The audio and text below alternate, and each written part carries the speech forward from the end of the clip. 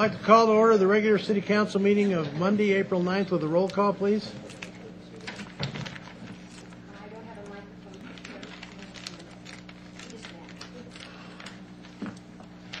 Caught him off guard. Mayor Martini, Here. City Clerk Patterson, Council Members Ratti, Lawson, Smith, Here. Carrigan, Here. Schmitt, Here. City Manager Carey, Here. City Attorney Adams. Here. We have an, a quorum. Okay, if you'd all stand for the invocation by Pastor Barb West, please. Welcome, Pastor. Thank you so much, Mayor. God's word says, submit to your local government authorities, because no authority is given except by God. Let's pray. So, Heavenly Father, we just approach your throne of grace right now and thank and praise you for this great council. We thank you for Mary Martini and for all of the people who serve the city of Sparks so willingly. We pray that today, as they hear things and as they think about things and as they decide things, that they would have the mind of Christ and really have the wisdom to know how to act and what to act on, what to say yes to, what to say no to. And so we plead for your wisdom to fall down upon them.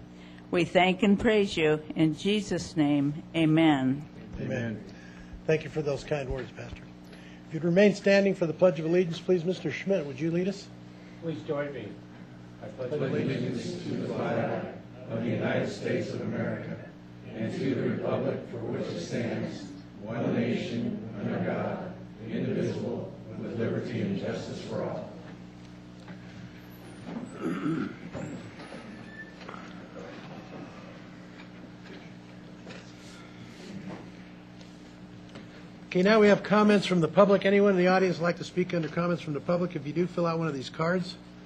I have two, but those are on agenda items, so anyone else want to speak? Okay, seeing none, we'll move on to the approval of the agenda.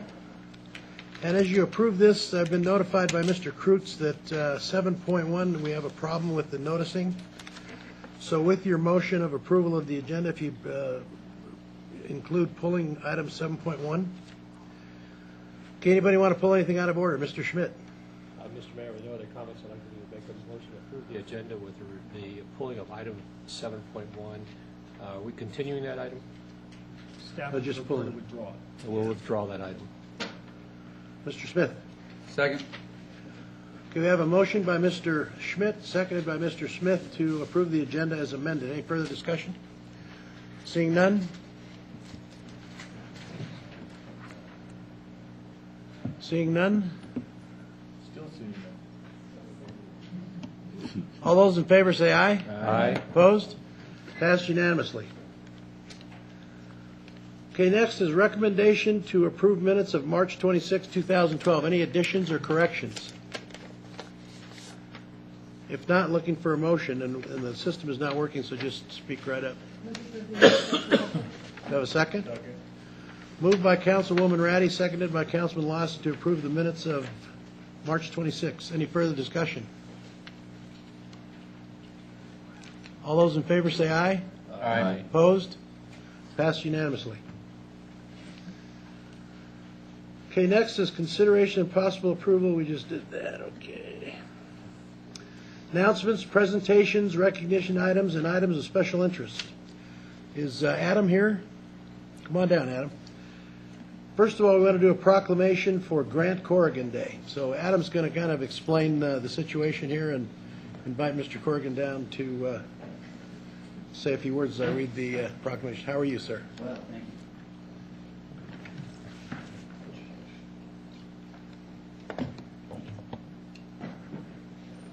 you.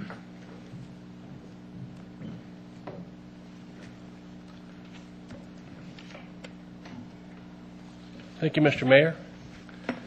Members of the council, Mr. Adams, Mr. Carey, Adam Mayberry, Community Relations Manager with the City of Sparks. And one of the uh, neat things about my job is I'm blessed to have the opportunity to introduce people like uh, the gentleman sitting to my left. And uh, as I've become familiar with his story, just talking about it almost gives me a lump in my throat. So we're, uh, we're really amidst greatness uh, this afternoon. Grant Korgan became the first adaptive athlete to reach the, the South Pole uh, back in January of this year. Uh, his loving wife, Shauna, is also here. Uh, and her, Shauna's uh, parents, Chris and Doug, are with us. Um, one of our maintenance workers, uh, Jesse Hahn, uh, brought to the mayor's attention the ties that Grant and Shauna have to the city. Uh, Shauna is a graduate of Reed High and hails from the city of Sparks, and her family has, has lived here for many years. And Grant uh, uh, came to Nevada just when he was a little boy and is, uh, was raised in Incline Village, I believe. And um, we want to recognize his accomplishments today. We have a short video that we're going to it's about four minutes, to giving a little bit of uh, the background of, of Grant's story. And then I'd like Grant just to talk a little bit about his experience uh, as he uh, trekked through the, the, the South Pole and um, some of the amazing things that, that took place. So we're going to show a video, and I hope the sound may be a little poor, but we'll, uh, we'll see if we can get it to work.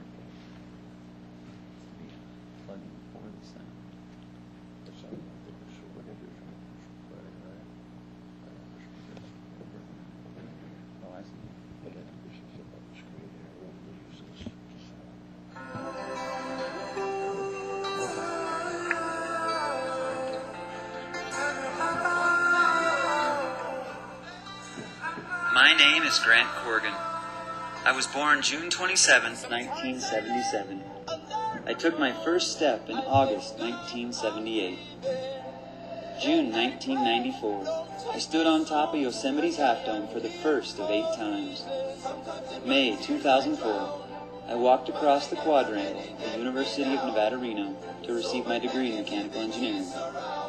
October 2009, I danced with the girl of my dreams on the night of our wedding. February 2010, my bride and I adopted a stray dog named Obi, who I took on his first run on the beaches of Lake Tahoe. And five days later, on the morning of March 5th, I temporarily lost the use of my legs.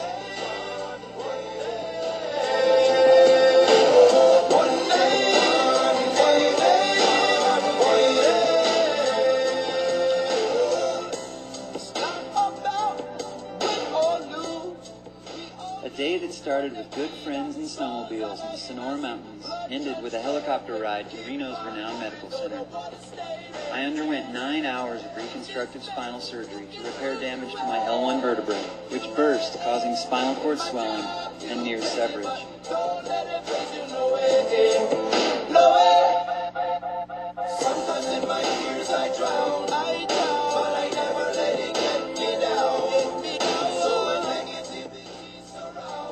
moment I awoke after the surgery, every second of every day has been consumed with working toward a full recovery and regaining the ability to walk, run, and live life completely. What I would have previously considered a victory, like kayaking over a 60 foot waterfall, or navigating a small project line on skis, or reaching the summit of a bucket list mountain, has been temporarily replaced with the celebrations of small victories such as being able to stand with the help of a walker.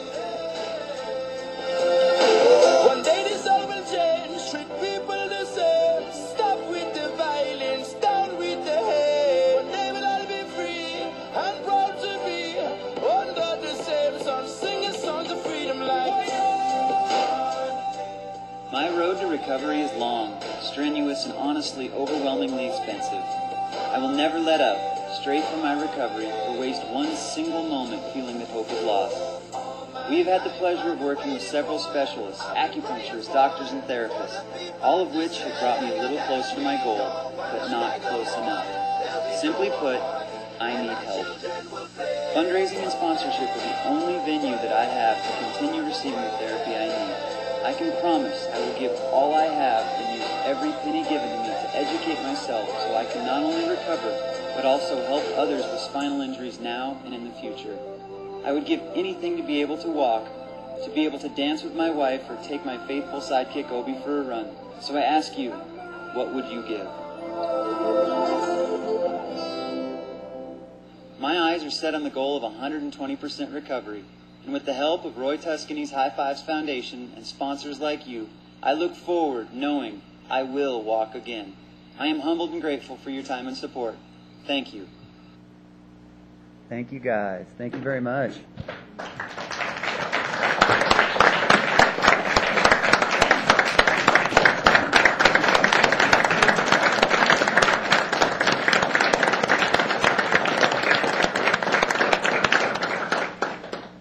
Thank you guys very much. Thank you, everybody. I probably won't even use the microphone. I'll just, I'll just talk. Uh, Mayor Marchi, thank, thank you guys. I'm, I'm a little choked up after watching that myself. Council members, everyone, City of Sparks, thank you for taking today and thank you for taking your time to honor a moment like this. As you just saw in my video in, in, uh, on March 5th, 2010, I was snowmobiling with friends in the Sierra backcountry, just uh, between here and Mammoth, and I landed too hard on my snowmobile in one of those photos that you just saw, and I burst fractured my first lumbar vertebrae. And in that moment, I entered the world of spinal cord injury recovery. And it was in that moment my wife came in to the Renown's ICU and held my face right as I got out of triage before surgery. And she said, We're going to get through this. We're going to get through it doing everything we did before. Now, keep in mind, this is my new wife of only five months. And she absolutely empowered me in that moment and countless others to choose positivity, to choose recovery, to choose 120% recovery. And I'm honored to say that after working every day, six days a week, six to eight hours a day of physical therapy in multiple, multiple modalities, I have gotten to the point that I began with no feeling or movement below my belly button. And I'm currently honored to say that I'm to the point now that I can feel and move all the way down to my knees. And so, through positivity, through deciding what I want, through focusing on what is working, and through choosing positivity, those are my three points of possibility. I run my life that way. That's my MO. And every day I work toward that goal of recovery. And I say I, I plan to recover to 120%. And I say it with a straight face. And people don't laugh at me because honestly, they see that I believe it. And I do. And it won't be long before I come back here and I play a different video where we're running a marathon through the city of Sparks. And that's the plan. So, through living my life that way, I've been given incredible opportunities. I got to do my first triathlon out at, at Pyramid Lake last year where I did the swim and Shauna did the run and our fantastic PT, Tice Mole at Spine, Nevada, she did the bike. Then I got to do the, uh, the 450 mile Best in the Desert uh, trophy truck race from Vegas to Reno, and I got to ride as navigator for 14 hours through the desert up here to Reno, which was also incredible. And I just recently returned from my most, I would say, incredible experience outdoor related, and that, that says a lot. Before my injury, I'm a pretty big fan of being outside. I had the unbelievable honor of going to the geographic South Pole on the centennial 100 year anniversary of the Robert Falcon Scott Terra Nova expedition to make history for first for America, for the mission of high fiving at the South Pole, and for bringing about awareness of spinal cord injury recovery. And we did that on January 17th of this last year. So, in roughly negative 50 degree weather, we pushed for over two weeks, and we crossed the last degree and did about roughly 80 miles all the way to the bottom of the globe, where we did. We high fived each other, and there was a, a bit of a surprise waiting for me at the bottom of the world. I, I'm, I'm a little embarrassed to say, honestly, that my James Bond feelers weren't on enough for me to see this coming. But all of my teammates, we filmed a documentary, the whole nine yards, and all of my teammates, the documentary team, the production team, the logistics company, there were over 300 people in on this secret, which I later found out was they were going to fly my wife to the South Pole so she could be there when I arrived. And after skiing over two weeks in that cold, 24 hour daylight on nearly 9,000 feet thick snow, hmm. I arrived at the South Pole and in tears said to my teammate 300 feet out, I just wish my wife could be here to see this. And sure enough, when I get to the pole, my personal dream and goal was to stand up and stand ski the final 100 feet on the 100 year anniversary of the first British explorers that, that arrived at that point and took the pole. And my teammates each gave me one of their skis, one of their poles, stood by my side and walked by my side as I stood skied the final 100 feet, left my sit ski behind, to the pole. And with tears in my eyes, I got to the pole. We're all hugging each other, and about two seconds into it, this woman appears from the crowd who had emerged to watch us come in. And she's covered head to toe in 1990s British expedition gear. So I, I never would have seen this coming.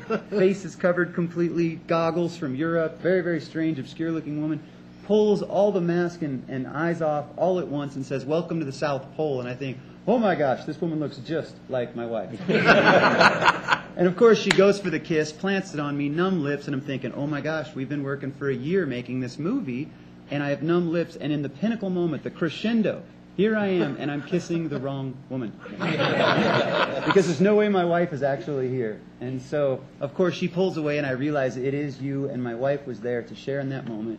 And again, I am so unbelievably honored to have chosen recovery in the way that I have, and I'm honored to have been given the humanity and the help and the support from my friends, family, and a community that absolutely won't let anyone hit rock bottom. And I'm honored to be here today to say that and to thank you guys all. Mayor Martini, thank you.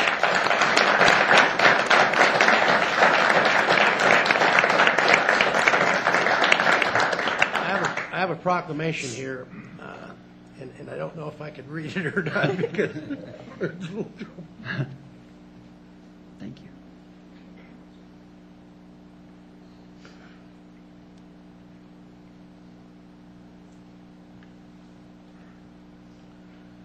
what a wonderful story of courage.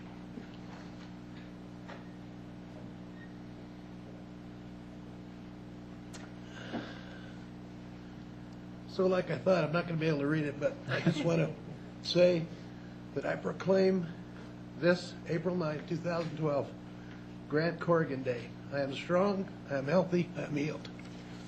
Thank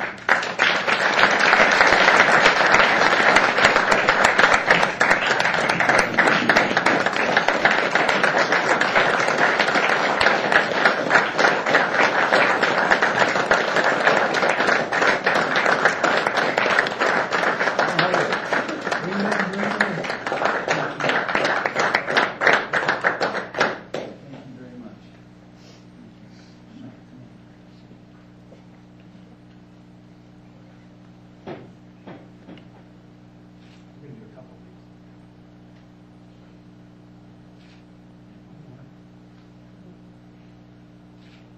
I'll blink on all three. Honestly.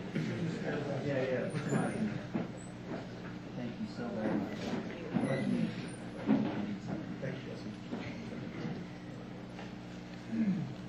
Thank you, council. Quickly, uh, I have something to say.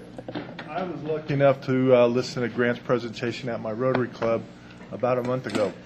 Very, very inspirational, very well put on. If you haven't heard his story from start to finish, you'll walk out of there happy and joyous and reevaluating your own life because this guy lets nothing get in his way, and it's pretty impressive. Thank you very much. Thank you. would also just like to quickly say something. I, I just want to thank you personally for reaching out to Jason Craig, who obviously found himself in a very similar position, and I think that for him, it was very helpful. I'm sure for everybody who has a similar story, there's key people that step in at the right time, but I want to thank you for that. And then I want to invite you, if you haven't been before, to our Mark Wellman Adventure Day this summer. Are you familiar with it? Thank you, I am. Okay, great, because Yes, that's a yes, fabulous event.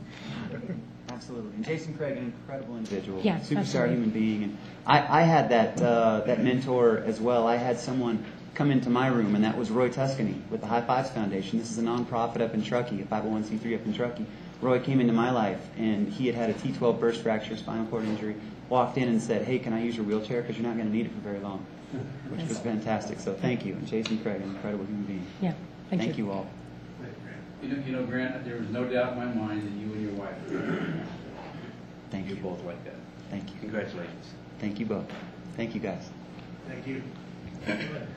Grant, thank you for, uh, again, for coming and sharing your story. I think it's an inspiration to all of us, and a very uh, good way to start out a council meeting and and to put blessings that we all have in the world. We thank you. And I, and I know in your presentation, you said you're looking for a triathlon to, uh, to, to do one day. And uh, I just throw it out as, uh, you know, this council and uh, Mr. Smith and myself from Tourism Marketing, we do have an endurance band coming on up, our first in the city of Sparks. It's going to be in, uh, we would be honored for your attendance to that event, either participate in any portion of it you can. I think we'd even say we'd pay your entrance fee and everything for you as a, as a sponsorship to come and, and and in your honor, be part of the event, is help, we can help out, whatever we can do to help you fulfill your dreams. Thank you very much. Thank you. Thank you. Honored, honored. Thanks, Grant. Council, thank you. Appreciate it. Thank you. Mayor Martini, thank you.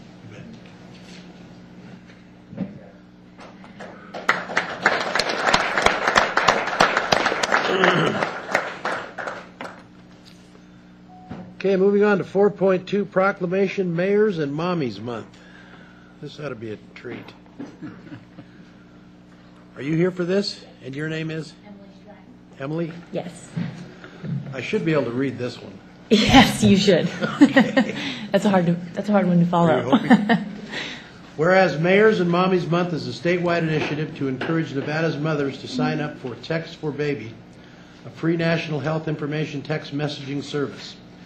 And whereas the goal of this month is to have 4,000 mothers sign up for Text for Baby by Mother's Day, May 13th. And whereas every year in the United States, more than 500,000 babies are born prematurely, and an estimated 28,000 children die before their first birthday. Simply increasing knowledge and awareness of prenatal, infant, and mental and maternal health can help decrease these numbers dramatically. And whereas Text for Baby is the first program of its kind and is an innovative and effective way to keep mothers and infants healthy by providing timely and relevant health messages and reminders to new and expecting mothers.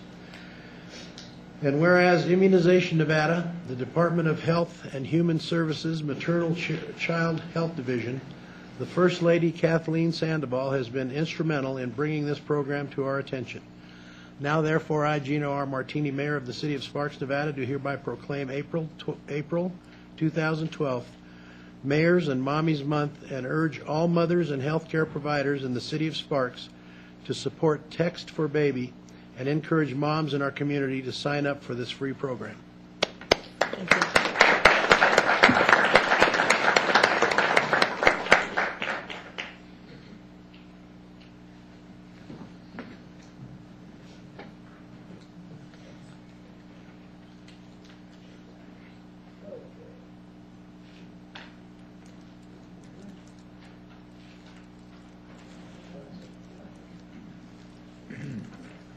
Um, First off, I would like to say thank you on behalf of Immunize Nevada for Mr. Mayor and the City of Sparks to get involved in such an important program. Um, Text for Baby, if I can just elaborate a little bit more about it, as Mr. Mayor said, it is a free national text messaging service to um, expecting mothers and parents of children under the age of one. And based on either the due date or the baby's birthday, mothers receive text messages um, based on their, their timeline with health and safety information, um, developmental stages that they should be looking for as their child is, is being born, um, and just general information, resources they can, they can have that will help with maternal and child health. Nevada is a state that lags in child preventative health, and so we're hoping by getting mayors of Nevada on board and, and First Lady Kathleen Sandoval that we can spread the importance of this program called Text for Baby. So if you are interested, please feel free to uh, um, visit our website, immunizenevada.org forward slash text for baby for more information on how to sign up and get involved in Mayors and Mommies Month. Thank you again. Thanks for being here. Any questions or comments? Okay. Thank you so much for being here today.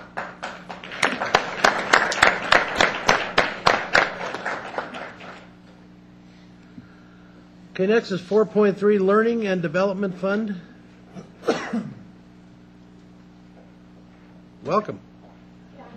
Haven't seen you here in a long time, or never before. I'm Jen McCall from Human Resources, and I have a short presentation for you today. It's good to see everybody. Kind of some tough acts to follow. Thank you very much. Okay.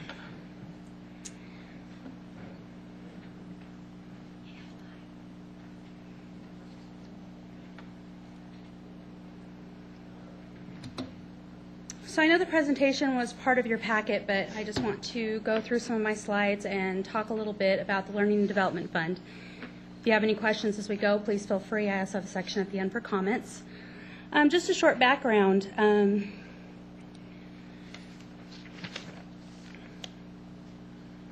during our last budget cycle, the City Council approved at the request of the City Manager $200,000 to be utilized for tr- the training of those employees outside of public safety and TMWRF. Both public safety and TMWRF have their own training budgets, so this money would be used for non-public safety and TMWRF employees. The goal was to improve the knowledge, skills, and abilities for our employees, increase job satisfaction, and prepare key groups for succession planning. The funds became known as the Learning and Development Fund, and as a training analyst for the City of Sparks, the city manager asked that I oversee these funds. The Learning and Development Fund was designed to pay for training that would increase the knowledge, skills, and abilities of employees in their current position, training that would prepare an employee for advancement opportunities, testing and training to help obtain or update required licensures or maintain or acquire a valued certification, and for seminars and conferences that support the city's strategic goals, or conferences that would provide federal, state, or statutory updates for our staff. To get started and make this run as smoothly as possible, the city manager asked the department directors to work with their management team and each employee individually to determine the training needs for each employee and determine any gaps. A process was then developed for submission of training requests, and with the help of the department administrative secretaries and the finance department, we quickly came up with a process that would allow employees to look for training opportunities, get them submitted, um, which then I would approve, and they would organize the, the rest, the training, the scheduling, and the travel. As of March 31st, 266 employees have participated in 240 learning opportunities. The response was astounding. After the few, first few weeks of announcement of this program, I had 80 requests in one week. Every single one of the training requests were both an incredible benefit to the employee and the city. I'll speak to some of those benefits in a moment. Any classes that I could provide internally or where we could bring a trainer in and teach a large group of employees all at once, we did that to help save money for the fund.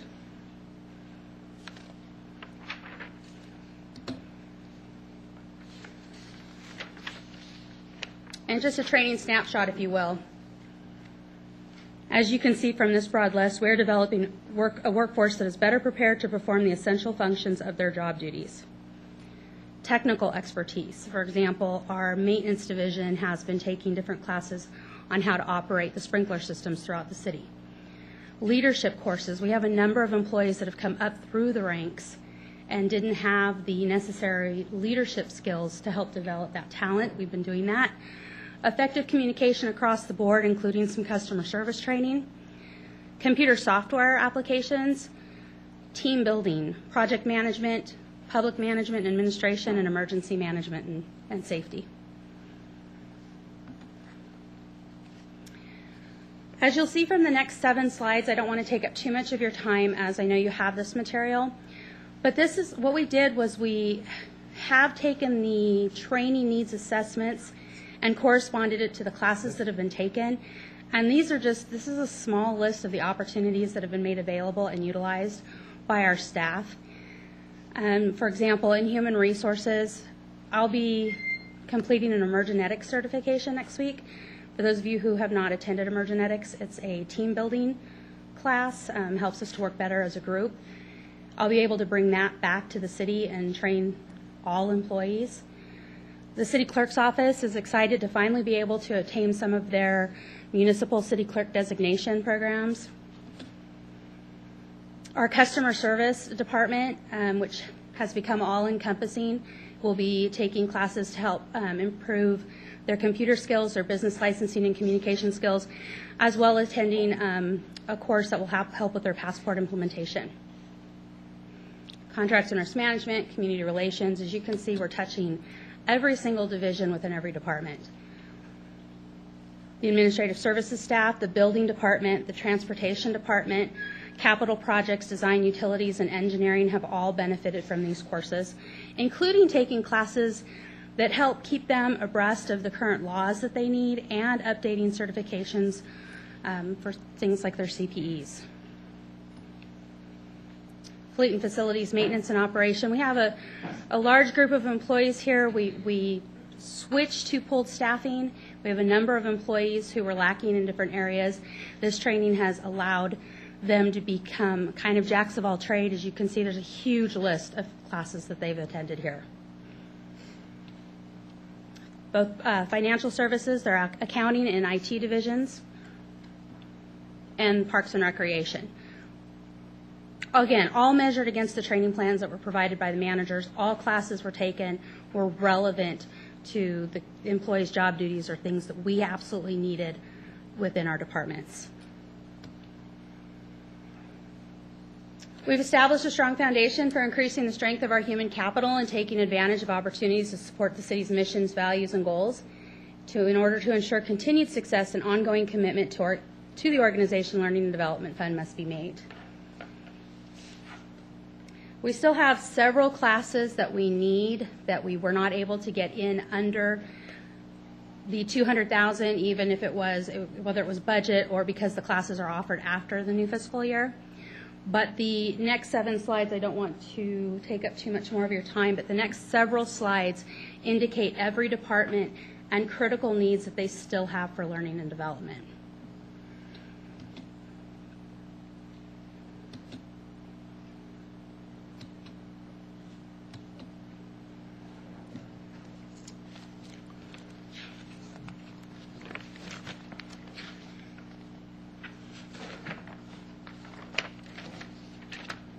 You have any questions for me today? Questions for Jen? Ron Schmitt? Thank you, Mr. Mayor. A couple questions. Uh, Jen, in your last items, you had seven needs that had to be done, and the fund is, I think, within $5,000 of being Mhm. exhausted. What's your cost on those seven needs? Well, they- they're the needs that are still established by the departments that we need to complete. Based on the training needs assessment, I believe those classes would be right around $40,000 to get the immediate needs completed. Are you looking for a budget augmentation for this fiscal year, or are you Mhm. looking for a status quo plus next year? Which, which one are you? Status quo. I believe that's, Sean, the city manager's hope, is to replenish the 200,000 and be able to utilize it for the next fiscal year. Okay, so, but the $40,000 gap, you're, are you going to just tap into next year's on that? Yes. That's what you're going to do? Exactly. So, um, do you, so then you don't foresee an additional shortfall next year if you're going to take that down? I believe that the popularity of the fund is going to bring us closer to a shortfall each year. Um, But based on the current training needs of what we have remaining from the assessment, I believe we can do it for about 200,000. And then we would have to reevaluate. Most of the training, the training assessment was pretty much 18 months to two years. Okay. And then I think we're going to have to definitely analyze, do another gap analysis and determine our training needs for fiscal 14. And then I know we, because we exchanged emails last week on a different subject uh, as far as uh, cost reimbursement to uh, tuition for schools and stuff. Mhm. Is that an outside fund over this, or is this included in that fund? That's a good question. Um, actually, it's completely separate. The That's what I tuition thought. reimbursement allows for $1,000 per employee per fiscal year, and those classes have strictly stayed to accredited courses through the university, Truckee Meadows, and- or online accredited institutions. We have not placed any college-related courses within the L and D. We felt that it was really important to keep the L and D core to the essential functions of an employee's job duties as we see them today, and to establish that group of employees that we can look towards for, for succession planning. The degree portion, the college degrees, the associates, the bachelors, why they're very important, and we highly encourage that, they n- wouldn't necessarily meet our short-term goals for what we needed for our employees. But we, we have a substantial pool of money in that category, too. Every don't we? department budgets their own money for what they expect in their tuition reimbursement each year. And that's just what I want to make sure that that we point on out, is that this is just not what we're doing in this category, but we're also expanding, and we, we support our education programs, too. Mhm. So Thank you, Jen. Good job. Anyone else? Uh, Mr. Carey, you can ring in, uh, the system is working, I'm told. Mr. Mayor and Council, I I just wanted to extend a, a great thank you to you uh, for your inclusion of this Learning and Development Fund. We went from 773 employees down to 431, and uh, this has really hit the mark in getting the skills and the right people and the right training uh, to make sure our organization move forward. And I know I'm speaking on behalf of all of the people who participated that this fund made a difference. And we wanted to bring this back to you. I want to thank you, Jen. Um, Jen came forward and led this program, make sure it hit its marks. We did do an analysis of training needs. We did prioritize that. And um, there's no GSA uh, spending going on. Uh, this, uh, this training hit the mark, and it got to the right people at the right levels of our organization. This didn't go to department heads. It didn't go to departments with funding. It went uh, to the mechanics. It went to the folks who are planners and are engineers and uh, kept their skill levels up. And when you commit to them, uh, they'll commit to us. And that's the difference this council made. Jen, thanks. Uh, Good job. Uh, Money well used, I think, uh, and you really took advantage of, uh, of, of doing this without a lot of traveling and all that kind of good stuff, and it saves a lot of money. Mr. Schmitt, did you have something else? I just say that Mr. Ross in the audience probably didn't mind the GSA expenditures too much. Didn't mind at all, thank you. Any other questions for Jen? Thanks, Jen. Good Thank job.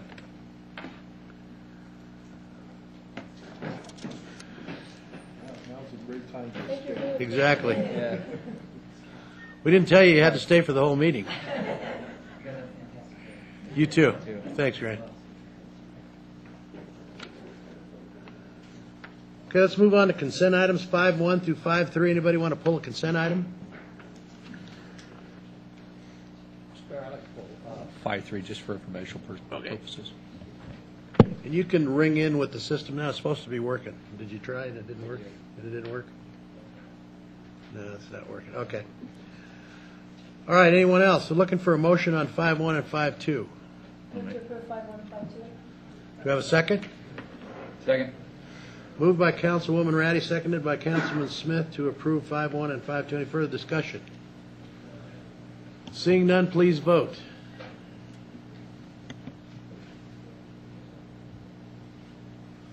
Passed unanimously. Mr. Schmitt, five point three.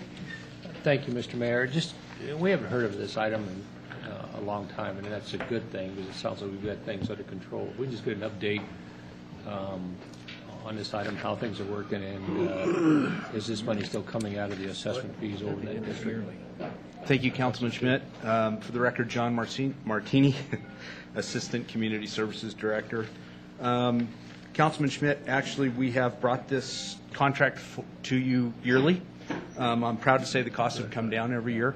We continue to work with aquatic environments on improving the science, if you will, on controlling the algae blooms and the weed controls out at, uh, in the, in the canal at- the marina.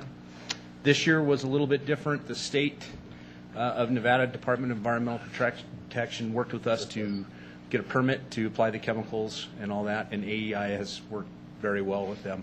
Uh, The source of funding right now, Councilman Schmitt, is actually storm drain operating funds. We move this into our operating budget. So the TIF over there where the um, LID doesn't pay for any of this at all? That is correct. Is there any plan on passing that cost that direction? Um, Mr. Carey, you may have to help me here. I believe the former Public Works Director and David Dahl, the original developer, brought a motion forward to the residents to create an SAD or a funding mechanism, and it was turned down. It was not approved by a majority of the homeowners. That's how I remember it. It's been quite a few years ago now. Yeah. Yeah, you know, they don't need a majority, they need all of them to say yes. It's a hundred percent, so that's why it didn't pass. And I- I'm sorry, I don't have those facts in I'm front of me. just- That's just what I recall. Yeah. Just want to make sure I remember where those costs are coming from. Yeah, they're Thank you. Foreclosure. Yeah. Any other questions? Okay, if not, looking for a motion? Go ahead, Mr. Schmitt. Mr. Mayor, I'd make a motion we pass uh, um, consent item 5.3 as outlined. Mr. Smith? Second. Moved by Councilman Schmitt, seconded by Councilman Smith to approve agenda item 5.3. Any further discussion? Seeing none, please vote. Passed unanimously. Thanks, John. Thank you, sir. Appreciate it. Thank you. Move on to general business, consideration and possible approval to terminate the contract with Contract Sweeping Services for routine street sweeping services. Continued from March 26. Mr. Krutz. Yes, we are. Good afternoon, Mayor Martini and members of the City Council. For the record, I am Neil Krutz, uh, Deputy City Manager for Community Services. Uh, Here today with an item on the, uh, asking you to terminate the contract with uh, Contract Sweeping Services. It's an item that we've been in front of you with before. Um, The last time that you took action on it, um, you, you heard the, the issues brought forth by staff. You heard from the, uh, from the, from the contractor and wanted to give them some additional time uh, to improve their performance. Um, We have, we have gone through that. From a staff perspective, we haven't, we haven't seen that performance. We have seen continued performance issues, um, and we have had continued billing issues. Now, I, I, I- where we were concerned particularly with January and February, where the, the billing was substantially higher than we felt should have been under the, uh, the contracted amount. I understand last week that the, the contractor did provide us uh, with revised, uh, revised invoices um, that fell within the, the terms of the contract, so we're moving those through the, through the, the city process to get them paid, and that's a, that's a good step. Um, But we are still recommending that this contract be terminated. Um, From my perspective as the department head, it comes down to a, trying to hold a contractor to the same performance standard that we would hold our staff to. Um, And I don't believe that, uh, that they're, they're meeting it and that they're making substantial progress towards that. Um, Yes, we are about nine months of the way into a 12-month contract. Uh, We have heard indication from Contract Sweeping Services that they do not intend to, to rebid the project, so we will be going out to bid. Um, Nevertheless, um, inasmuch as we still have performance issues from a staff perspective, we're asking you to terminate. Um, In terms of providing that service in the interim, um, what I would propose that we do is, uh, while we're in the process of getting the, the next bid put together to put on the street, we provide that service uh, with existing staff. You know, we do keep a, uh, a fleet of uh, four sweepers um, on for leaf sweeping in the fall and for sand sweeping after a storm, um, that we would borrow staff from other maintenance activities that we have going on in the city so that we would see a reduction in service there to provide this service ourselves while we're back out to bid. Uh, We do still believe that it's, uh, it's in the city's interest to have this outsourced um, because of the sus- uh, substantial savings um, that are involved. With that, I'd be happy to try and answer any questions that you have. I know that we have contract street sweeping folks here in the audience. Uh, It certainly would be appropriate to give them a chance to have their Yeah, say. they were going to speak. Uh, Questions, Mr. Carrigan?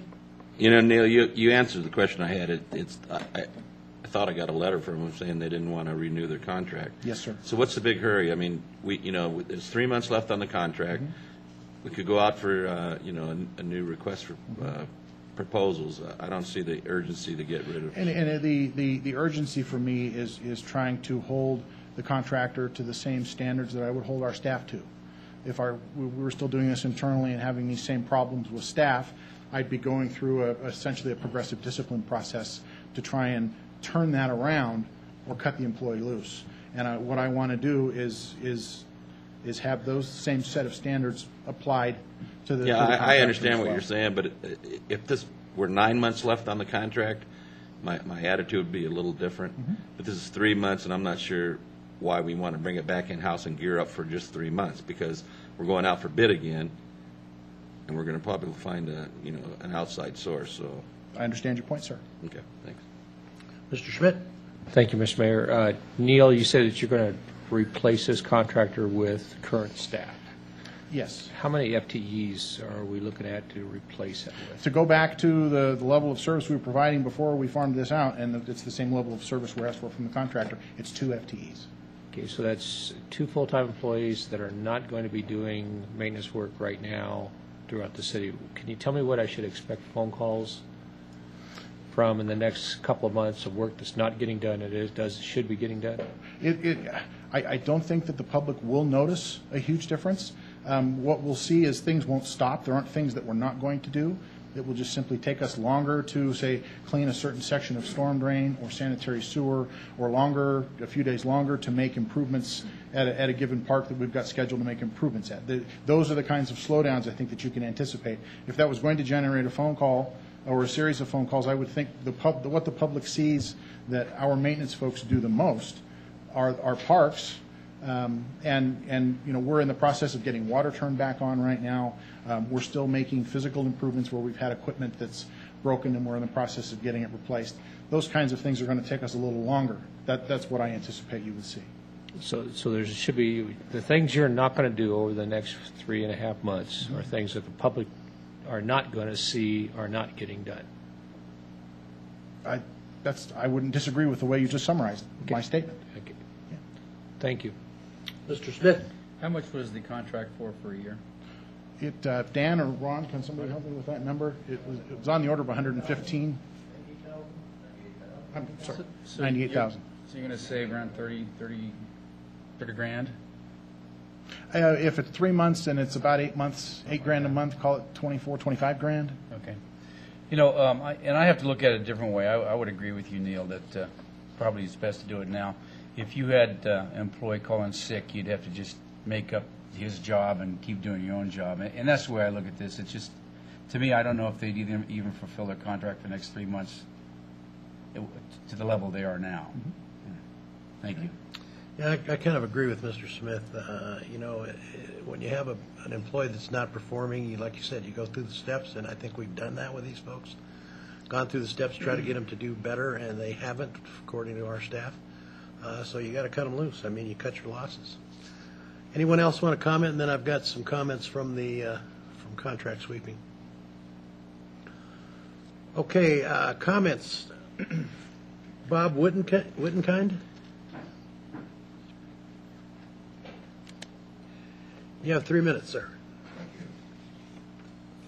I'm here representing contract sweeping, and our problem is not service.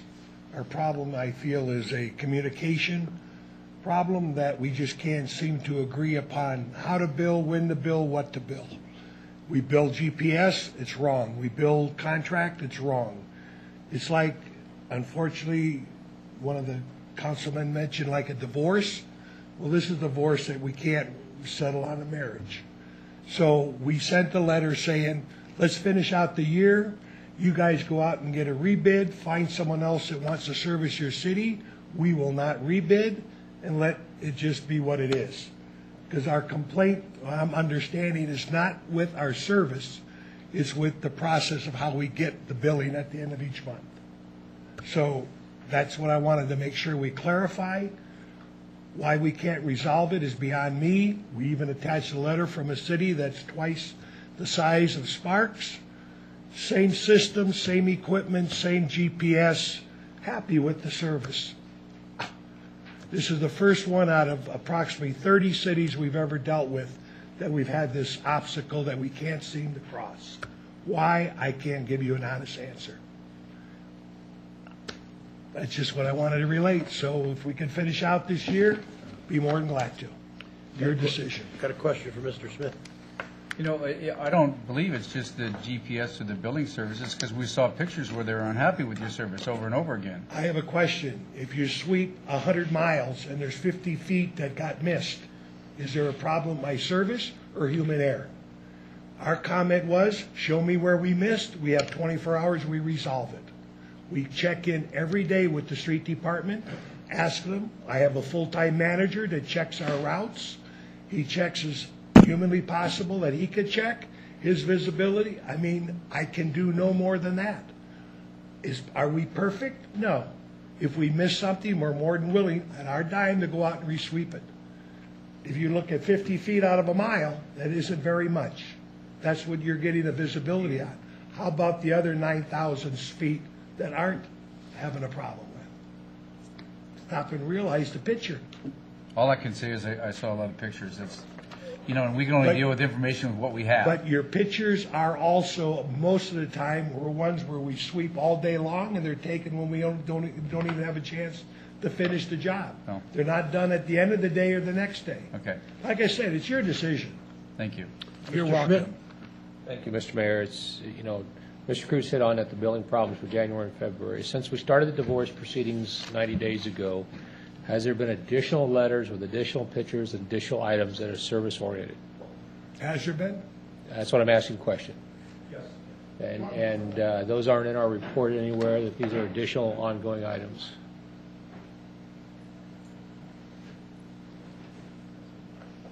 Mayor, Council. Uh, Dan Hamlin, Maintenance Operations Manager.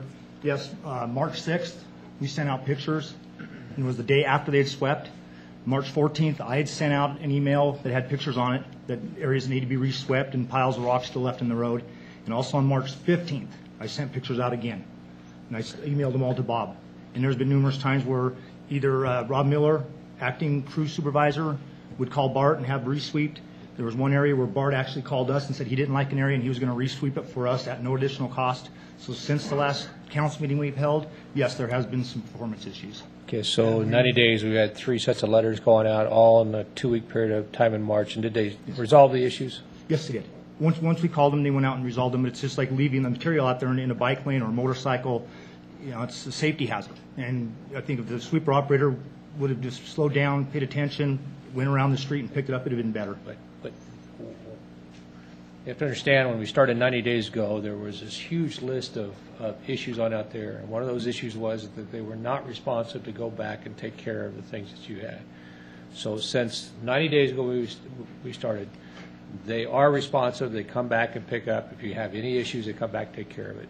They have redone their billing per GPS. That was one of the items that you had on it. You felt January and February billings were incorrect. Those billings have been reconciled, Mhm. ready to go. Yes. Tell me what issues we talked about in January have not been resolved? Everything's been resolved as far as the sweeping and for- as far as the invoices, they've been corrected.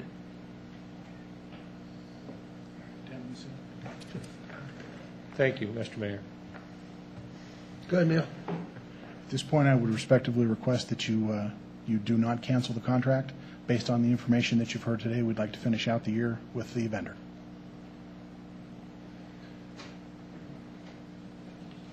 Okay, I have another public comment from, uh, thank you, uh, Mr. Bob Joe Bella. Woodenkind? Joe Bella. Oh, you're Joe. I'm Bob. You're Bob, yeah, Joe's coming up, I hope. Yes, sir. Joe, Joe Bella. Don't, don't confuse me, Bob, I'm Italian too, so. Good afternoon, Council. Joe Bella, Contract Sweeping, I am the owner. I am just here to answer any questions if the council has anything. Yes, we did send that letter.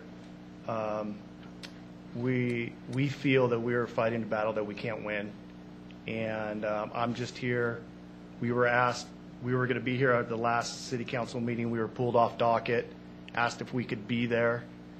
By that time, they canceled it on Friday around 2 PM, 11 AM, one of the two of that.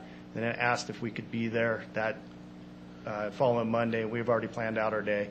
I'm just here to answer any questions if the council has anything. Um, Again, and I, you know, I apologize in any way of contract sweeping. We- For some reason, there's just something that we, we cannot keep um, the council, not the council, but the ci- um, city works, public works department happy with our services. We've done everything in every possible way that they've asked us to do. We've changed billing, we've corrected the GPSs. We have managers checking in on a daily basis about the day before route. There's any concerns, there was some issues of emails not going through properly uh, from Dan Hamlin to my manager. Um, They were a day, day and a half, two days late. But at the other end is, my manager's in there on a daily basis, checking in. If he could say, hey, I haven't got a response to that email I sent you, why can't something be said on, I mean, we're trying to work together, not against each other. And it's just, it doesn't seem to be working, so it just looks, the best thing to do is if we could finish this term and contract sweeping would, you know, grant their wishes and not rebid, and when it does come back out for bid. Okay. Questions for Mr. Bella? Okay. Thank you Thanks. very much. Okay, let's bring it back to council for action. Uh, What's the pleasure? Anybody want to make a motion? Yeah, I'm going to make a motion that we continue to the end of the contract with uh, contract sweeping services. Do you have a second? Mr. Schmitt? Second. Moved by Councilman Lawson, seconded by Councilman Schmitt to, uh, we'll get there. To continue the contract till it's uh, finished. Uh, Questions? Ms. Ratti?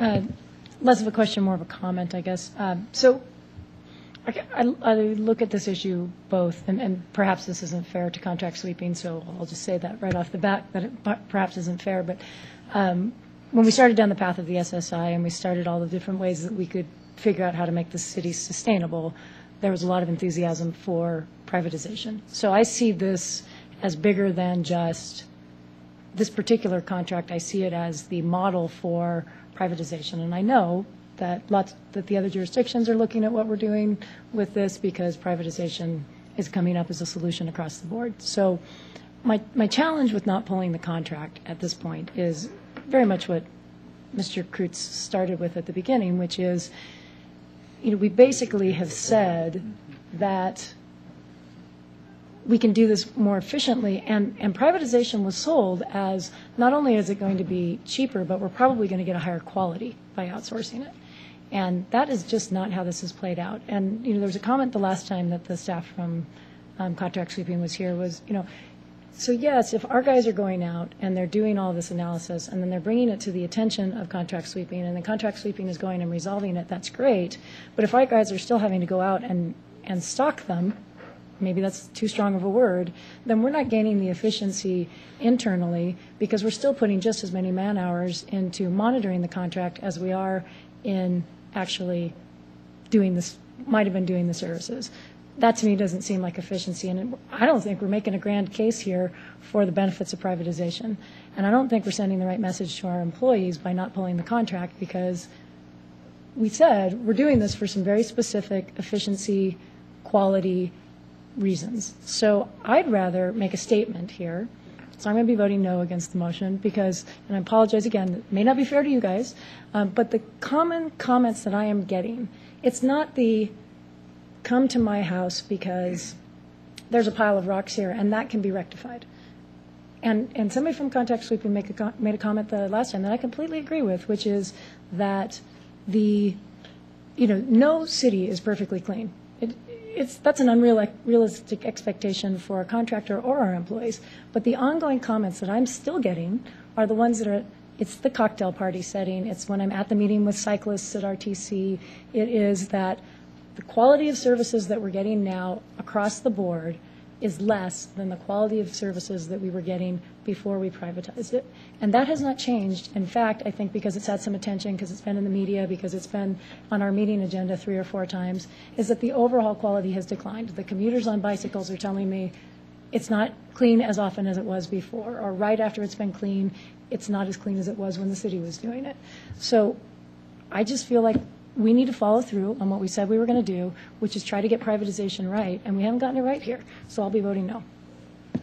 Mr. Schmitt? Thank you, Mr. Mayor. Uh, And and I guess as a whole, I don't disagree with, with Ms. Ratti with, you know, we, we're, we're not there. My concern is that I think there's responsibility on the city side as well as the contractor side. This is a mutual problem that we've, we've uh, jumped in, and we've got issues going to square away. I think it's uh, my advice, or what I'd like to see staff do, is spend the next 90 days on how to do a, a better job with the contract for bid, or the proposals on out there, how to set up their management team to go in and handle contractors of this type. You have to remember, this is brand new to everybody. This is brand new. This is a first time out the gate for the city to, to privatize something this big. And I think that, you know, I, I, I, I think the contractor's got lots of blame here. I think the city has some responsibility in it.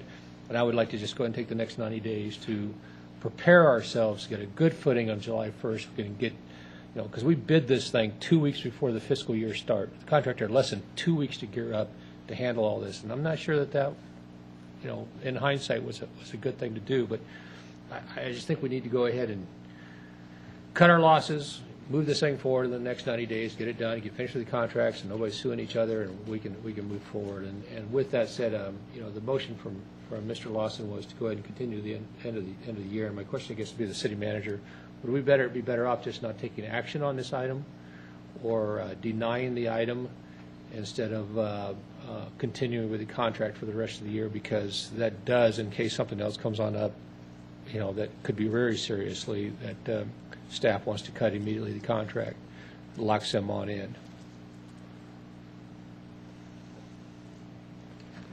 Go Sean. Uh, well, The motion was to continue, to continue through the rest of the year with contract services. I mean, uh, just deny this request, staff request. And then that just goes back totally to contract terms and not involves the council in a decision to keep them there for the next 90 days. So I leave it up to the maker of the motion. I'll support his motion if the way it is, if he wants to, or change it. Let me withdraw the motion and, and we'll uh, go from there. you Um, I do you just have a have, comment too, Mr. yeah, I do have a comment. It- When Contract Sweeping Services was here last time, I said, you know what, no more excuses, let's get the job done. What I just heard is they did exactly what they said they were going to do. Uh, Yeah, nothing's perfect, can't be perfect. Uh, I, I just can't see, number one, are we opening ourselves up for a lawsuit? Uh, And is it so terrible we can't get along for 90 more days? I mean, I don't think either one of those cases are, uh, that we can get, we can get along for 90 days.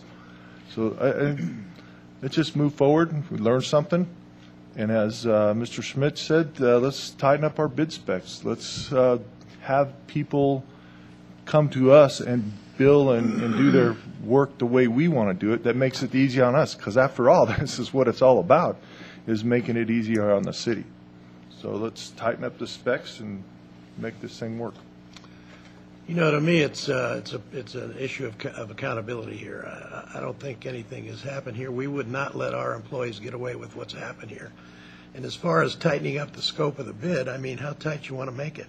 We're not babysitters here. These people are supposed to be experts in what they do.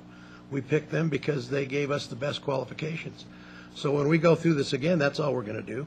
We're going to do the same thing. But this is a, this is an issue of accountability. These people have not been accountable to what we expected and uh, have not performed like we wanted them to. Having said that, I'll open it up to another motion. Mr. Carrigan. If we don't do anything, it just dies, doesn't it? I mean, can't we just skip it and go on? I mean, the contract's in, in place. Nobody makes a motion. I mean, that's a cleaner way for us to do it, I think. Nobody makes Wouldn't a it motion, Chet? it'll die. You can do it either, either way, either way. I prefer to keep it clean and just go on to six point two. No pun intended, keep it clean. Surely be a clean sweep on this. thing. Yeah, exactly. So I'm, loo- I'm still looking for a motion. Does anybody want to make a motion? You can let it die. I'll make a motion. Mr. Schmitt, Smith. You you know, I disagree with, uh, with most of you up here, you- I guess, but uh, I'm going to make a motion that we discontinue the contract immediately. Do I have a second? I'll second that. Okay, we have a motion by Mr. Smith, seconded by Councilwoman Ratti to uh, discontinue the contract. Any further discussion? Well, let me just point out one more thing. Mr. Krutz just stood up here and said that he does not want to cancel the contract. And what he said in Dan the has first told place. us that they're living up to what they said they would do. I find this a little unusual. Okay, we have a motion on the floor. Everyone understand the motion? All, or uh, please vote.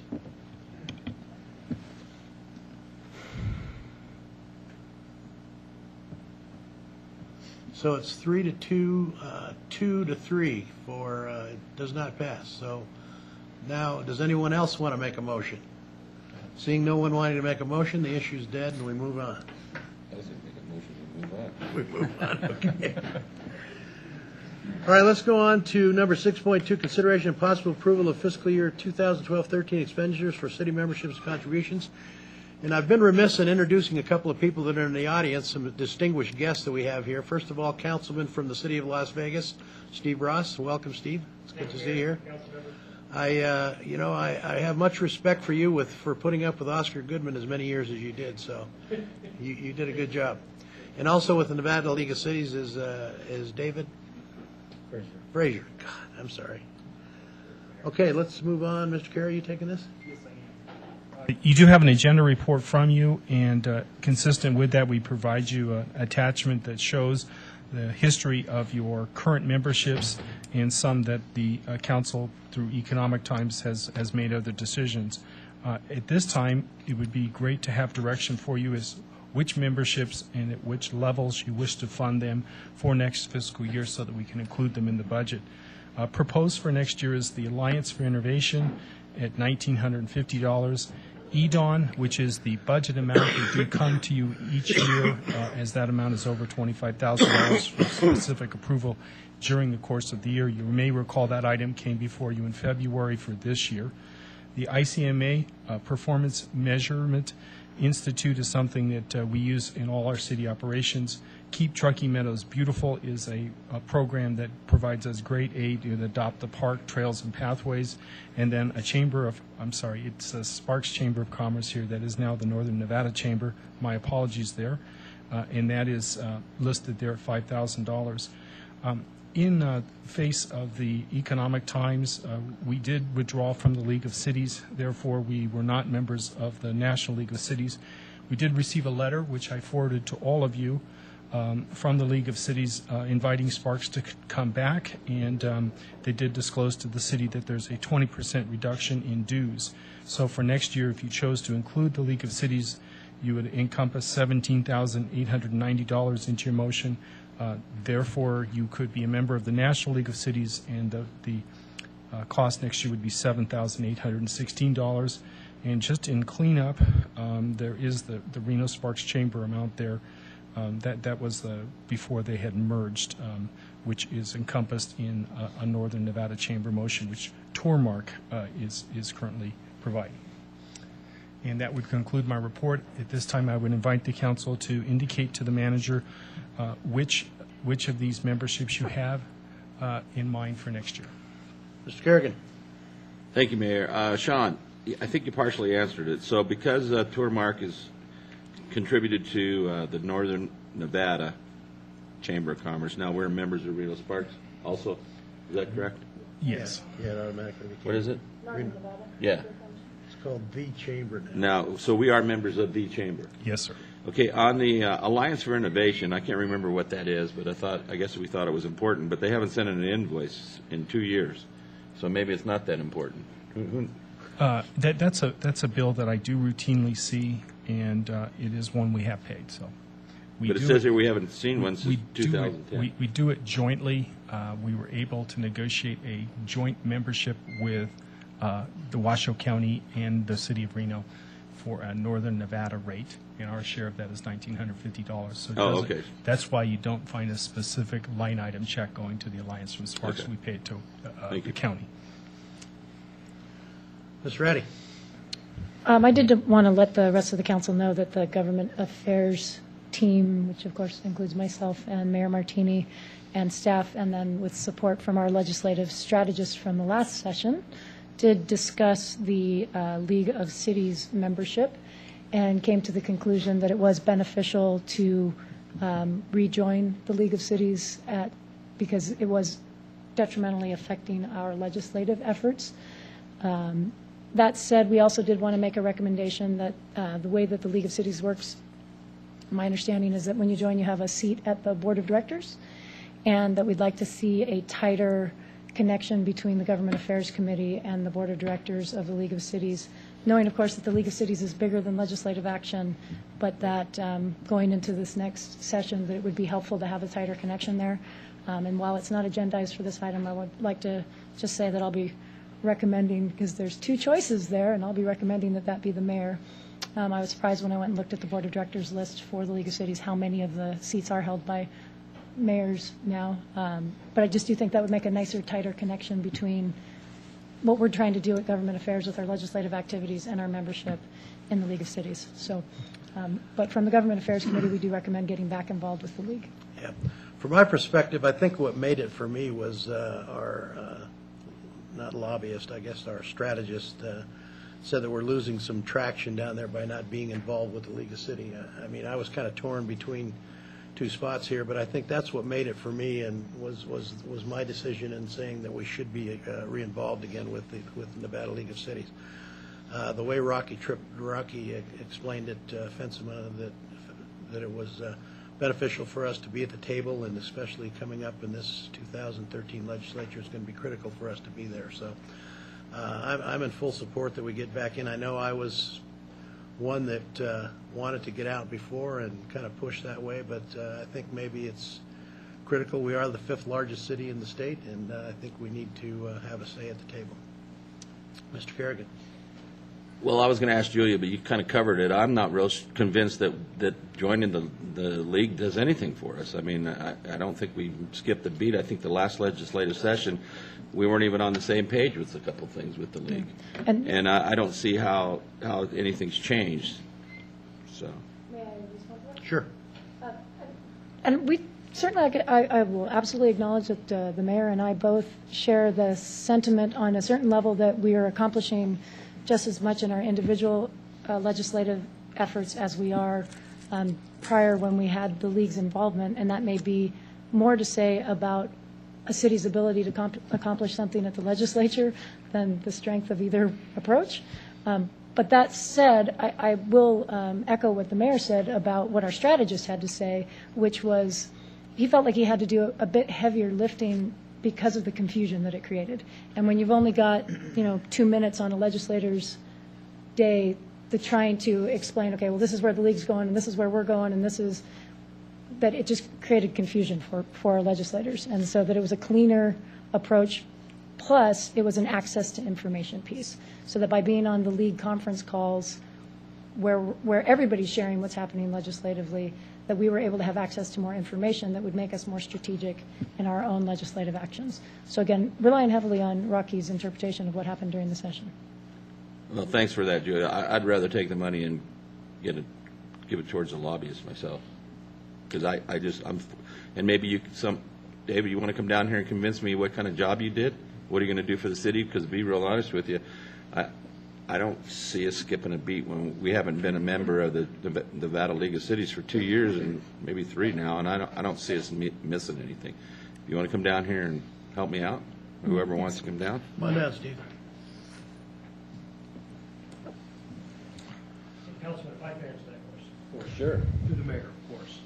Um, Las Vegas City Councilman Steve Ross, representing the great northwest part of the city of Las Vegas. It's an honor to be here today, and uh, I appreciate your comments, Councilwoman, in regards to the importance and significance of being part of the league. And Councilman, for whatever reasons or challenges that occurred in the past are over. We are, we, uh, the- city of Las Vegas, the city of Henderson, uh, the southern cities, and of course, some of our uh, uh, general, um, what do you call them, GIDs?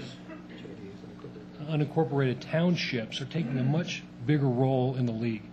Um, uh, We've recognized uh, this as an opportunity um, for, and- Councilwoman hit on the head, even if it's just for information only. But if we are not collectively staying together as a league of cities in this state, we are going to feel the pain, if you will, of a legislature we may not agree with. And there may be times that the city of Las Vegas doesn't agree with the city of Sparks on legislation. We're not going to touch that. That's not the league's role. That's not the league's part to be in it. The league plays a part collectively for all of the cities and unincorporated areas in the state of Nevada. And we've got to stay together. I'm here to convince you, as president of the Nevada League of Cities, that we miss Sparks. Sparks needs to be with us. Um, and it's not the money. It's not the money is not the issue for us. And speaking to my executive board, it is more your participation with us. And I don't know what your lobbyists went through at the, at the last session. I certainly know what our lobbyists went through, and our lobbyists for the league went through. Um, uh, and, it was very difficult at times. But I did not like the fact that the city of Sparks was not participating in the Nevada League of Cities. We've got to stay together um, on issues that we do agree on, on items that are important to all of our cities, and especially the smaller GIDs. Those are the ones that I know the city of Las Vegas takes great concern over because they're, they're not the city of Las Vegas. They're not the largest city in the state. And who's going to watch out for them? Who's going to watch out for the smaller cities in this state? Um, we've taken that role on. I've certainly taken that role on. Um, uh, my executive board members as well understand the importance of what we do at the league, and I would encourage you to vote yes to come back to the Nevada League of Cities. Did you want to add anything to that, Mr. Fraser? Would you like me to, Mr. Carrigan? Sure, I mean, you, you, I'm gonna vote no, so you better convince me to vote yes. doesn't sound like I'm going to convince you today, but I appreciate. Uh, Well, you never know, I'm, I'm open. Okay. I, I do appreciate that. You know, it's been, it's been, uh, I couldn't say anything better than our president has said, but I will say that it's been awkward not having Sparks uh, in the league. I, I've made an effort. Uh, it's been a bit of a tightrope walk for me because I've wanted not to do anything that would, even though you weren't members, not to do anything that would throw Sparks under the bus. I've, I've given heads up to your uh, team uh, on many occasions when I didn't want them to get blindsided, uh, but yet had to walk a very uh, kind of a fine line because I couldn't, uh, you know, serve you fully as I previously did. So there were a lot of meetings that took place, uh, strategy meetings that took place among our lobbyists that I just couldn't, because of your membership status, invite the city of Sparks to attend. So I know there were some things. I didn't know that Rocky had said that, but it, it wouldn't surprise me, uh, just because I saw that there were some opportunities that you would have had, that our other members had, uh, for better information. Uh, in many ways, the league acts as a conduit for a lot of that information and, and uh, try to help our, our folks uh, not only be aware of things, but uh, to, to work from the same sheet of music, as it were, as often as is possible, which, as you mentioned, is not always possible. But, but Sparks was, didn't have those advantages. I, I would commend the team that you sent down last time. Uh, I think they did do a very good job for you. Uh, I do believe, uh, and, and many of you on the committee know, or excuse me, on the council know, that, uh, see where my habits are, Mayor. many of you on the council uh, know that prior to coming to the league, I'd worked as a city manager in a couple of other states, and I've always had um, a strong belief in what leagues uh, do for their members. And, and the only thing that I would add, uh, other than that, other than to say, I think as cities, we had a pretty successful uh, session despite looking down what was maybe the worst fix the state's ever been in. As leagues, we came, as cities, we came out of that uh, fairly well in this latest session. I just say what I always say to you guys. The, you, you are the League of Cities. I'm not the League of Cities. The League of Cities isn't a building in Carson City. You and your sister cities are the League of Cities. This, the league staff is there to help you uh, work in concert with each other. And I will commit absolutely to you that although we may not be able to jump into every issue because there may be disagreement among our members, uh, that most of the things that come up, we, we are able to arrive at some consensus on. And, and I will commit to you uh, the full support of the league. In fact, you stop me if you need to. If you decide that you're coming back to the league, of course, that would be, you know, a July 1 fiscal year uh, decision for you. Uh, But if you make that decision, I would want to go ahead and extend full privileges to you immediately, e- even though you wouldn't be a paid member until July 1. Uh, I'd want to make sure that you guys got involved immediately in our legislative committee that's uh, crafting the five bills that we carry. I will mention that last, one of our bills last time, interestingly, was, uh, dealt with depreciation uh, on property, which has been an issue for the city of Sparks in particular, I know, for more than a decade. Um, For a long time, the city of Sparks has been raising that, raising that, raising that. The league actually made that one of our bills in the last session and got some traction on it. We actually got a bill passed. Uh, The original form of the bill, and I don't want to take too much of your time, the original form of the bill actually would have fixed the depreciation uh, uh, problem, as it were. Because it is a constitutional issue, it would have been an amendment to the Constitution. We ended up uh, in, in uh, consultation with the legislators, um, we decided, it- rather than put the, the specifics of that into the Constitution, because of course, if you get that in there and you need to, and you have an unintended consequence, you have to go back through the whole constitutional uh, amendment process again. We actually made that an enabling piece of legislation that would enable the legislature to address that issue. That bill did pass, and so if that passes again and passes on the ballot, the legislature will be, in- be able to go in and fix that. One of the questions that they asked me in committee is, if, we- when we were looking at the, the new form of the bill, the form as passed, is if this goes through, you're saying that you'll be back here with a bill, with a league bill saying that you want to fix the depreciation problem. I said, absolutely. So, uh, just as an FYI, one of the issues that, that your city has been trying to get some traction on for a long time, I believe the league has gotten some traction on, and although we're just beginning down that road, not at the end of it yet, uh, even, even in the absence of your membership, that was something that we, that we thought was important to all cities. Yeah, And well, I so find we- that interesting that when we were members of the league, we never got any traction on that bill. When we, not members, it goes. So I- that's, that didn't really convince me. I can't really, I can't really explain that to you. If, if I may, through you, Mayor, and, and to the council members, um, we, we talk a lot about the, this next legislative session. Um, At one point in the city of Las Vegas, sitting with staff, it occurred to me that it seemed like we were always preparing for the damage that our state lawmakers are going to do to our city.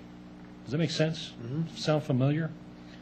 Ironically enough, we represent and work for the same people that they do.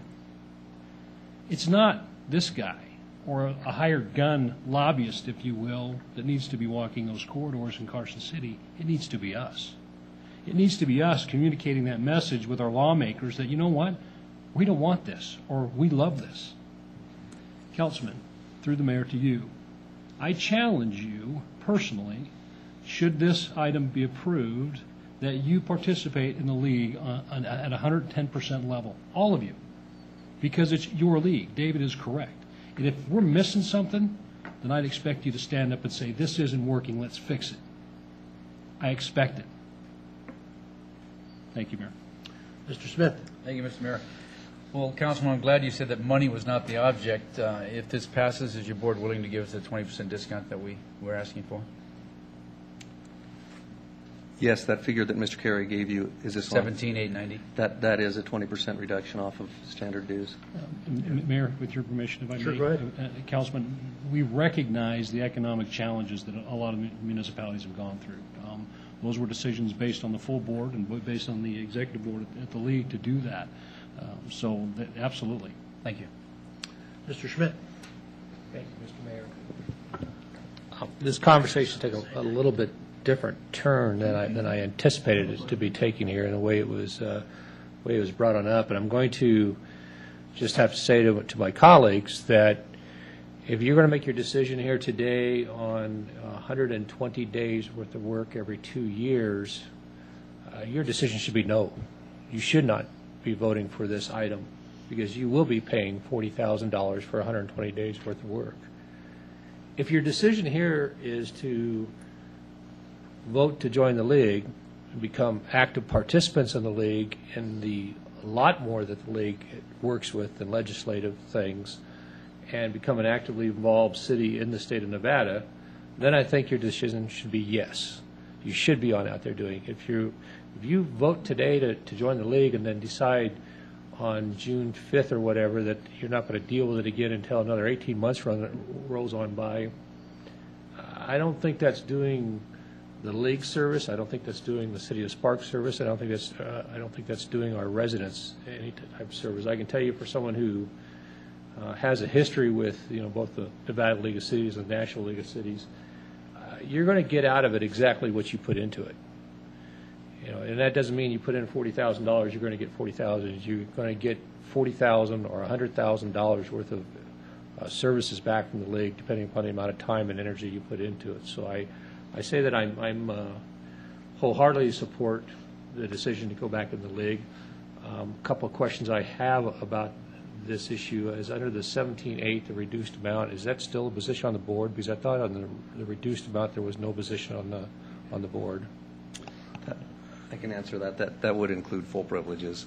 There was at one time, before you left, that we had talked about a reduced amount and a reduced amount of privileges, and of course, that didn't transpire. So Okay. The indication here would be uh, that that that would be full privileges. And, and as I say, my intention would be, once we know you're coming back, I wouldn't wait for the check. I'd want to have you get involved right away. Then, then my s- second question, to Mr. Ross, I don't want to put either you or, or Mr. Fraser on the spot here, but when you look at geographically representation of our state, um, where would you say the weakest area is coming from right now on, on active participation and representation of the Nevada League of Cities? Uh, Through the mayor, thank you, Councilman. Um, I would probably defer that to David, but what I see, it's interesting. Um, We get better participation from the smaller cities, actually, than we do from the larger cities. Um, I've had to work uh, a little more, be a little more, be a little more diligent with the cities of Henderson uh, and North Las Vegas to get them motivated and active to participate. You know, they're, they're certainly contributing, but, and, and Reno's always participated in, in, in a, in a, in a great way, but I would have to say the strengths would be in the bigger cities. I mean, the weaknesses would be in the bigger cities and the strengths would be in the smaller ones because the bigger cities are carrying the financial burden while protecting the smaller areas. Uh, Mr. Fraser? You know, it- that's one of the interesting dile- dilemmas, as it were, uh, is that, is that most of our money comes from the big cities, and most of our members are the small cities, and that's just the way it is in every league. That's the way it is at the national, at the Association of Counties as well. Um, I would characterize the involvement of the southern three largest cities as, as very strong right now. Um, It, it really, it really is an all for one, one for all kind of a thing, uh, big or small. But, but I think Las Vegas's involvement of the league is apparent to you in the fact that Councilman Ross uh, came up here today to, to be present for this discussion, took time out of his busy schedule and, and uh, traveled nearly 500 miles to, to sit here at this table and talk to you. So I think this is evidence of Las Vegas level involvement today. And uh, Henderson and North Las Vegas, I would characterize as not very far behind. That your Thank you, question, gentlemen. Councilman? Thank you, Mr. I Mr. think uh, Councilman Ross brought it all to light for me. What, what originally upset me about the League of Cities was, and Miss Ratti was there with me at, at the table. And at one time, everybody decided they were going to go and testify and be, it was, had something to do with redevelopment. And, you know, had, had somebody told me in, beforehand that they were not going to be there, I wouldn't have had a problem with it. But nobody said anything. I turned around, looked over this shoulder, looked over that shoulder, and all the people that said they were going to be there were not there. And that's what upset me. If you came to me, and I can appreciate that, and said, look, we're not for this, we're not going to be at the table, then I can understand that. That's all I would ask for is to be upfront in that particular instance. Mr. Lawson? One- I think one of my questions got answered is the, the dues amount is seventy-eight hundred to be in the national and twenty-two thousand to be a Nevada member? You don't have to do both, though. You don't have to do the national. That's, that's correct. You don't have to do both. You, you are only eligible to be a member of the National League if you are a member of the State League. That's Okay. one of, that's one of National League's rules. And in my short But not time vice as a, versa. as a councilman, the League of Cities hadn't had one effect on me one way or the other. I don't know what you guys do. I have, no one's ever reached out to tell me what you do. Been there. No one's ever said a dang word about you, so I don't really, doesn't make any difference to me one way or the other, but if the mayor says it's a good idea, then I have to go with, you know, what he says. But, uh, you know, there should be some kind of an outreach. Uh, You're going to have a lot of new legislatures come this November, I love- all over the state. Yeah. And if they're anything like me, they don't know a, a thing about you guys. If, if I may. No. You want to take that? With the mayor's permission, go ahead. No, you go ahead, go ahead, David, because I, I Well, don't add to uh, that. thank you, Mr. Lawson, uh, for bringing that up. Of course, I, I believe you came onto the council after the council withdrew from, from league. So during your tenure, uh, the league haven't been uh, members of the city, and I uh, certainly could have reached out to you. I apologize that I didn't. Um, Having said that, uh, you you can expect, you can certainly expect to be hearing from us. Well, and if I may add to both of your comments, Mayor and Councilman, part of our, we're not restructuring the, the league's leadership or management. We are changing a few things in regards to communication. So you are aware of everything that he is doing at the national level, everything he's doing at the state level, and then we, we communicating as cities. So we see each other more often than we normally would. Um, You're absolutely right. When I heard of the Nevada League and the National League of Cities, I had no idea what, what do they do? What are they for? We're spending money where? Those are my questions. Um, And then, we, I, as a city councilman, we went through our first session at the legislature and said, oh my goodness, we're in protection mode. And it seems like every time the legislature convenes, um, we're in protection mode all over again to protect ourselves. Um, I don't see that anymore. And I see by strengthening our relationships as the cities, because remember, when I speak to a lawmaker and tell that lawmaker, you do the same, and say, we represent the same people. We're the Nevada League of Cities, and we represent, represent the same people that elected you and put you in office. That carries a big stick with it. And their eyes kind of open up a little farther, and they go, yeah, you do. So when we get together and we're on the same page on an issue, the legislature listens. If the city of Las Vegas or Reno or Fallon or any of them have their own issues, that's, that, those are their own issues. If we can come together collectively to help them, we will. But it's that level of communication. It's, just- this is the outreach, Councilman. Um, come on back to the Nevada League of Cities. You won't be disappointed. And if you are disappointed, we need to hear about that. And please, get active. I could use your help. I could use all of your help. Councilman Carrigan, I'm looking forward to working with you. Ms. Ratti? Well, I think um, Councilman Ross just teed up nicely what I was going to say, and, and and I do want to say thank you for coming up from the south to Little Old Sparks. That uh, does, it does say something, so thank you very much. Um, But what he teed up is where, and I, I'm, I'm going to agree with Councilman Schmitt with just one tweak. If we're only working on the legislature for 120 days, we're all failing. Our legislative effort needs to be a 24-month effort. It's the only way we can be effective. That said, I also agree with what he said, that the league should be much bigger than just legislative activities. It should be education, it should be fellowship, it should be everything that a League of Cities could be. Um, But I think the other thing that pushed me over to the edge to saying we should get back in is that if we are disappointed, and I'll be frank, we were disappointed. I don't want to sit here and say, you know, that we didn't leave because of some lack of enthusiasm about how things were going. Uh, But the way to change that is to do it, is by getting back involved, by getting the mayor to be on the board of directors, by saying in the boardroom when those meetings are happening, this is what we think is not working, how do we fix it? And I appreciate what Mr. Fraser says about, you know, the league is of the cities, but there's also, uh, I used to run associations, and so that staff and that, that leadership that the staff can bring to help herd those cats, which is what association management really is, is important as well. So my recommendation is that we do get back to the table, that we do have a voice in making it the league that, when we're sitting here and looking at this item, a year from now, two years from now, we're saying, yeah, they are giving us the service that they want because we've been a part of making sure that that happens. Mr. Mayor? Okay, go ahead. If I may, uh, and I apologize to keep talking. Um, Thank you for your comments, and they remind me of something else. If, if, if this motion does, if this, it's not a motion yet, but if this item does pass, and you do join the league, and there are actually two appointments that you'll want to make right away. One is on the board of directors. The second one, that a city, each, each member municipality uh, appoints someone to our legislative committee, uh, which is the group that will be uh, shaping which bills we carry uh, to the legislature. And, and there are other committees that can get involved, most of which are presidential appointments, but those two are actually city appointments, who would represent you on the board of directors and who would represent you on the legislative committee. And those can be the same, those can be the same pe- person, but they can also be two different people. Good. Well, are you going to make a motion on, because this is totally for the whole package here, is it Yeah, not? and I, I just, as soon as it came out of my mouth, thought, oh, but there's Okay. other items to be discussed, so. All right, I'll we hold need on. to discuss a few more items, and then we'll get to this, and I appreciate you guys showing up. Go go ahead. One more Councilman. comment, Mayor, before Mr. Fraser and I step back. Um, I- I do want to say that I heard the GSA was looking for another location next year for their uh, convention, and I'm going to recommend Sparks to them, ju- just for the economics of the whole thing. Thank you, Mr. Mayor. Thank you, Councilman. There's going to be one. I don't think so either. Thank you, Mayor. Okay, other questions on the list of uh, what we would like to do? Anything else, Sean?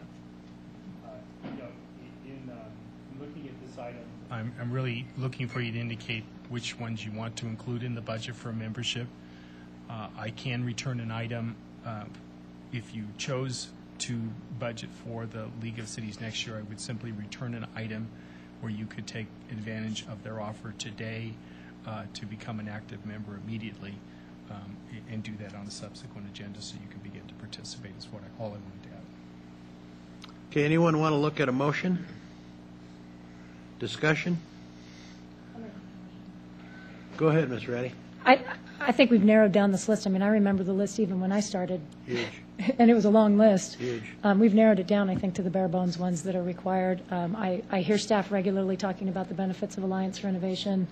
Um, EDAWN, I think with economic development being the priority that it is, is a no-brainer for me. The ICMA, same thing, I hear staff saying that that's helpful in terms of getting best practice. And Keep Truckee Meadows Beautiful, we're getting so much bang for our buck out of that particular membership. I think that's why it's continued to stay on the list. So um, I would make a motion to accept the um, the, the ones that are on the list, so Alliance for Innovation, EDAWN, ICMA, Keep Truckee Meadows Beautiful, the Northern Nevada Chamber of Commerce, the Nevada League of Cities, and the National League of Cities moving forward. And that's called the Chamber now? It's not Northern Nevada Chamber of Commerce? The Chamber, Now, I believe that's being funded already, was it? That's being funded by Yeah, the. so we don't- that's what I was gonna don't ask. need to have that in there. do we need it in the budget allocation? No, it's two Okay, so I'll, I'll, I'll pull that one. And leave that one off the list and, but re- leave the remaining. So that's my motion. Put them Mr. all in the Schmitt? budget. I'll second for discussion purposes. Okay, go ahead.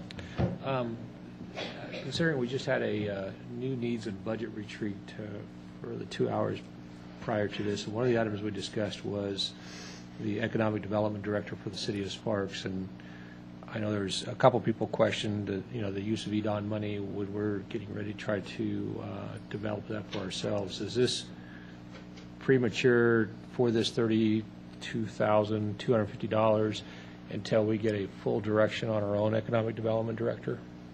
And I'm just asking the question, I am, because I'm the one, one of the people that brought up that, you know, maybe that's, uh, can help offset the cost, but it's up to the council.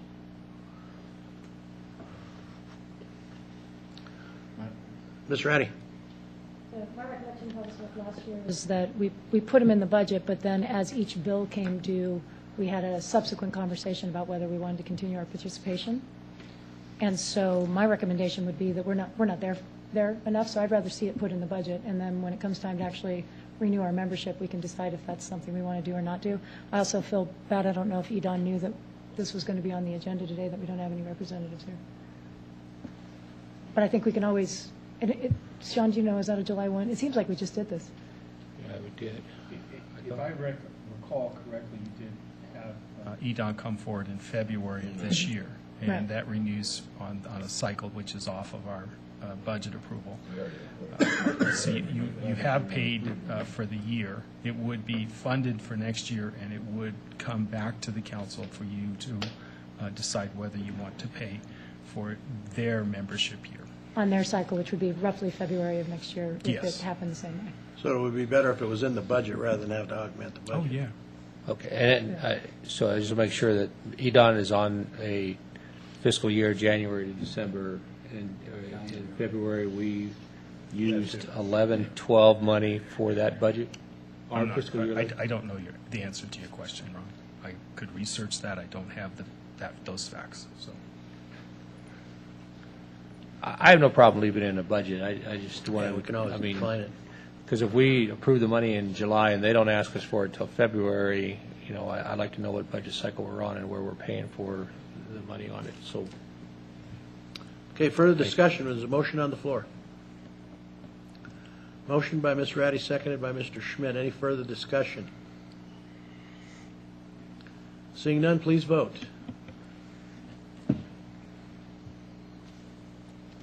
Passes four to one, Mr. Carrigan, no. Okay, so we're back in the League of Cities. Thank you, Councilman Ross, thank you, uh, Mr. Fraser, for coming, and uh, we appreciate it. Mayor and looking forward to working with you. Okay, let's move on to six point three, discussion, potential direction to staff, and a possible approval of the revised First Amendment to the interlocal cooperative agreement to the Truckee Meadows Flood Management Project. Mr. Krutz. For the record, Neil Krutz, uh, Deputy City Manager for Community Services, here with an item that is very similar to the one that you took action on two weeks ago, um, to change, to approve a change to the interlocal agreement on the Truckee River Flood Control Project to get away from the unanimous voting and go to a supermajority or five out of six in some instances and go to a simple majority in all others. Um, After your joint meeting uh, last Monday, um, there was discussion there um, that wanted to expand the number or the types of things that would require that supermajority. And what it boils down to um, is that in addition to the Living River Plan, which would require a supermajority if you wanted to make any changes to that, um, the, the change that's in front of you today would add to that list and add capital improvement programs and infrastructure tax, tax plans as well as requiring a supermajority. It would also require that um, before the flood board took any final action on a CIP, that presentations had to be made to each of the governing bodies of the local jurisdictions um, beforehand. Doesn't require that you approve it, but that a presentation would have to be made. Um, That is the, really the essence of the change uh, from what you voted on to approve two weeks ago. Um, With that, I'd be happy to answer any questions. Questions, Mr. Carrigan? Oops, I'm sorry, Ms. Ratti first, and then Mr. Carrigan. You weren't quick enough. Are- Were these the changes that our legal counsel didn't have the opportunity to look at before the meeting? Yes, they were. Okay, thank you. And our legal counsel has since had an opportunity. And they're in okay this- with it? As in, yes. Thank you. Mr. Carrigan. Yeah, This was for our, our legal counsel. Uh, Did we decide that this has to be passed by the board of, of uh, directors for the Truckee River Flood Project? What are they called? I don't sit on it, thank God. I don't even know what it's called. Councilman Carrigan, it, it does need to go to the. Okay, flood board. Then I think this is premature, because if anybody was at that meeting, you know that's going to go down. Three people are going to vote against it. Two Councilman- from, two from Reno and one from Washoe County said it, that they're going to vote against it. So I have no problem with continuing this until they decide what they want to do, because it- here we are, we're going to be in a vicious cycle again. If I may, there's a reason that the city councils, the local governments should vote before the, the flood board should. And that is, So we can get turned down at the flood board and be back in Well- the same place? Have somebody committed. in the event that the amendment is turned down, turned down by the flood board, it is our opinion that there may be some other remedies that we could pursue at that Yeah, like juncture. wait till November? That's one. That is one potential Yeah, I remedy, Councilman Carrigan. No, but I think we need to, uh, we need to give direction, this, the, the the council needs to give direction to the people that are on the board, how they want us to vote. I mean, I'm not going to go there, if you, if you don't want to change this and you say you don't want to change it, then I'm not going to go there and vote for it. I'm not going to speak for Mr. Smith, but I don't think he's going to do that What either. concept, you mean you're going to do what we ask you to do? Yes. Oh. That- That's, I mean, That's what I'm thinking. Mr. you know- Smith, go ahead. Well, Help me and- out And here. I'm in the same boat. Uh, Geno and I both represent the citizens of Sparks and the city council. And Yeah. if they vote a certain way, that's the way we should uh, follow their vote, the way they want us to vote. Now, it- the reason why it goes to the three entities first is for that exact reason. If we vote that way, Geno and I will do what the council asks. If Reno votes the same way we do, then you would expect their members to do the same thing. Exactly. Same with, thing with the county. If they go against their council, you can see the problem, and November may be the answer. Mr. Schmitt. Well said, Mr. Smith. Well said, Mr. Smith. Thank you. Thank you. uh, Thank you. Yeah, We don't want him to hurt himself on over there. Well, you know, and I, you know, the council knows where I stand on this thing, and it, and it- it appears to me that, you know, there's more than six directors of the JPA of the flood. It's, it really is the entire councils, because, you know, the councils can get together and vote differently than what their directors are, and I think we're going to find out what our limitations are. Am I correct? Is that what you're looking for here? Is you say, they go ahead and do it, and somebody, you know, the city of Reno, a member of the city of Reno says, no, I'm not doing what my council says, and then we're going to find out what the legal ramifications of No. not following the Reno City Council? No. Uh, Mr. Smith, that's not our intent. Our- Our intent is, is to hope that all three local governments will take affirmative action on it, and then their members will in turn see what their boards want them to do and, and pass it that. That's our intent. And if they don't, Then it stays like it is. just, there's no challenge there, we're not challenging that in any way, or? The, the Sparks City Council is not challenging that in any way by their vote today. Um, There are potentially other remedies that could be sought against the flood board by any of the jurisdictions for failure to move forward with the process. So let's explore that, because I'm, this is the first I'm hearing of that, and I'd like Well- to know what those ramifications are. That, are, are we saying that we can sue, the city of Sparks could sue the flood control board? if Perhaps They not. don't do what we say? Perhaps not the city of Sparks, and, and the, re- legally, one of the reasons why the local jurisdictions would vote before the, the flood board is that if we did it reversed, any challenge wouldn't be ripe. Um, If the, if the flood board never saw it, a, a challenge wouldn't be ripe, because we have no idea what they would do in the future at the direction of their jurisdiction. According to our practice with the city council, that once we name somebody in November to a board and commission, we're not allowed to remove that member from the board and commission until the following two years, until all that stuff comes back open, and in some cases, that's four years, that, that person sticks. Uh, I- I'm presuming that Reno's got the same things, that they're follow the same guidelines of that? Well- I mean, I, I can't speak to, to Reno's guidelines or procedures. Um, and, and while I would, of course, appreciate an opportunity to research the issue, I, I believe that the bulk of that procedure is based on the idea that a, a vote is protected by the First Amendment, which is not the case anymore. Yeah, th- thank Thank- you. Thanks, Mike. Uh, Everybody we- can thank me for that. Yes. I- I just, I'm just, uh, again, I mean, I I think it's clear that this council wants to move forward because our two members are, are want to move forward with it, so um, I'm just concerned this path is leading into very dangerous territory.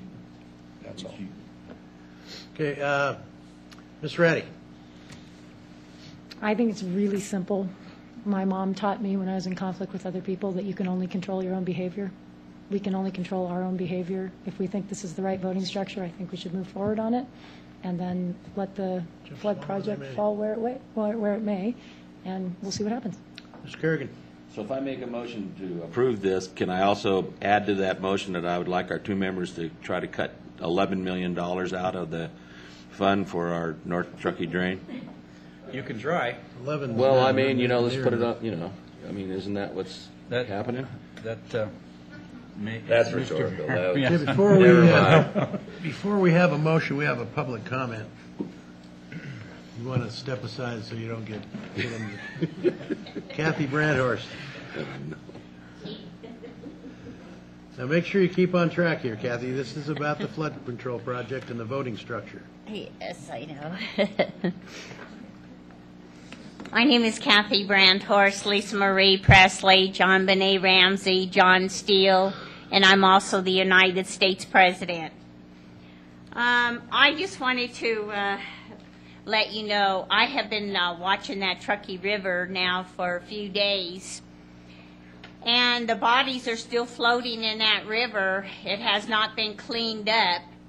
And yes, I have been noticing that the river, do, I mean, the water does rise, but not that much. It's not enough to keep people from, uh, you know, going into the river to help these bodies out of the river. I never seen nobody clean it either. There's always grocery carts, clothes, uh, sleeping bags, uh, whatever, you know, they're always caught between the rocks. And these bodies are buried underneath the rocks because nobody wants to have the um, opportunity, I guess it is, I don't know what it is, maybe they don't have the time to clean the river. Ms. Brandhorst, this is about the boating structure, please. Uh, that's part of it.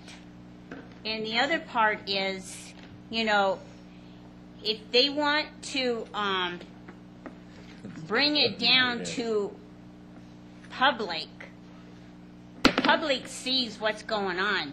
All they see is great big boulders in there. If somebody fell over into the river, they're going to die. Lawsuits. Thank you. Anyone else? Okay, let's bring it back to the council for action. Questions or looking for a motion? Mr. Aldean, did you have anything you wanted to say? Don't, don't muddy the water.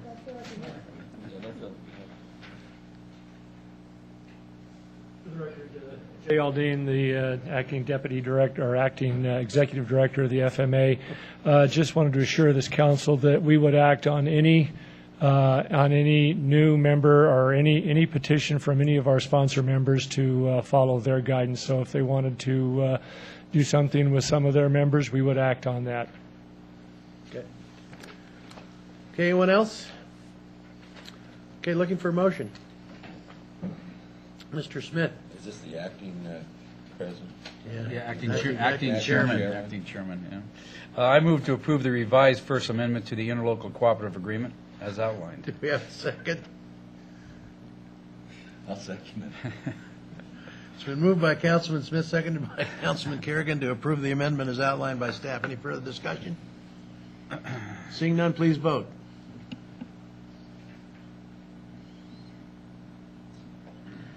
Passes four to one, Mr. Schmitt, no. Okay. Thanks, Jay. Thanks, Neil. Okay, six point four, review and discussion of city's participation in upcoming joint meetings being held about the information of the regional fire district under joint powers agreement. And Sean, I had this put on the agenda just to, uh, I think there's the, uh, the, the resolution attached that we passed, and I just wanted to bring it back to the public's attention, what our stance is on the, uh, on getting involved with the consolidation of the fire district. Go ahead, Sean. Uh, That, that's correct. Uh, Chief Flock and a couple of members of staff uh, joined in watching the discussions between Reno and Washoe County last week, which was uh, stylized as a meeting between those two agencies. Um, They um, have agreed to begin meeting to study a regional fire district, which would um, uh, begin in earnest. They have a meeting tentatively scheduled uh, uh, as early as April 19th, although I haven't seen that uh, firmed up yet. But if uh, the City of Sparks Council uh, wish to entertain that, we were looking for policy direction, as the mayor stated, and we drew your attention to your existing resolution. And at this time, Andy could provide any technical answers. Um, They have not met in the same room uh, to form a fire district. Uh, In fact, the meeting they held uh, a week ago on Monday was the first time they had sat down to discuss the separation of fire services. Um, There would be um, subsequent joint meetings that, uh, if you chose to participate, uh, you would be uh, come party to. And our recommendation uh, from a staff level was uh, not to participate, and uh, the alternative would be for the council to provide us other policy direction. Okay, again, uh, is there any questions for anyone? And again, I just brought this so publicly again that we could state what our position is on fire consolidation. Mr. Schmitt? Thank you, Mr. Mayor. Uh, I would like to take the opportunity to pass along to the council a phone call I received on Wednesday of last week, two days after, uh, after the meeting of the joint meeting uh, we had. He's a very prominent businessman, and we're working on some nonprofit things, and so we had to uh, have a call for that. And I, and I, I'm going to just kind of par, par, paraphrase a, about an hour-long conversation in regards to that meeting on Monday, in which uh, had nothing but praise for the Spark City Council uh, in the way that they responded to the issues, the regional-wide issues, the way that the council was able to interject some very thoughtful items.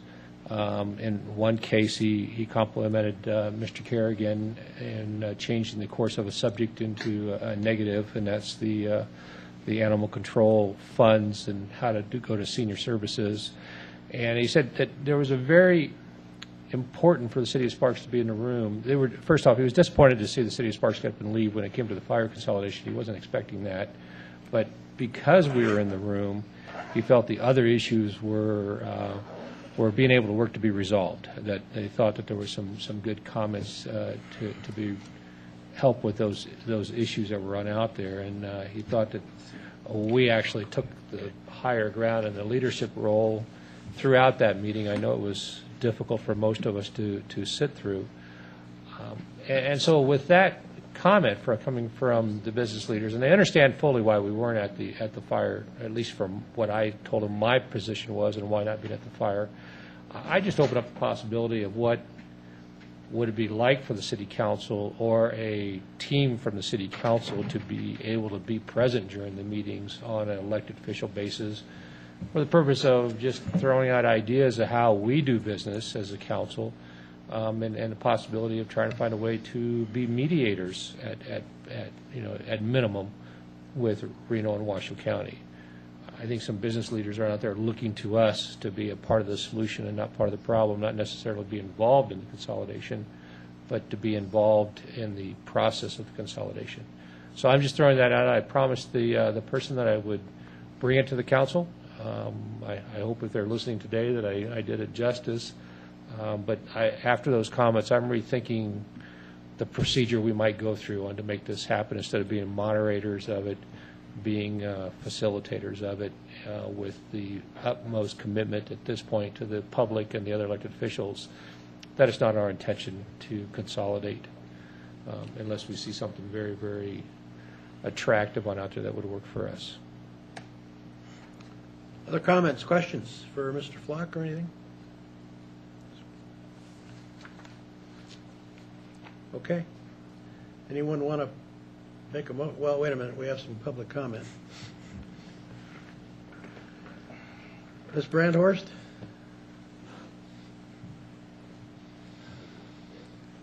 This is about a joint powers agreement about consolidating the fire districts.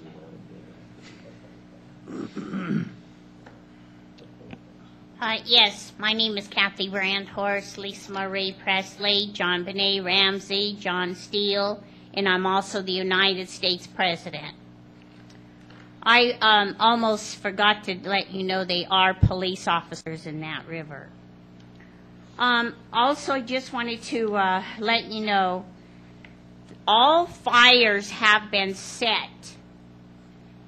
It's by gasoline and throwing a match right into the gasoline to um, make the fire go even faster. And it will, you know, continue to burn so fast that you won't even have enough time to get out of your home.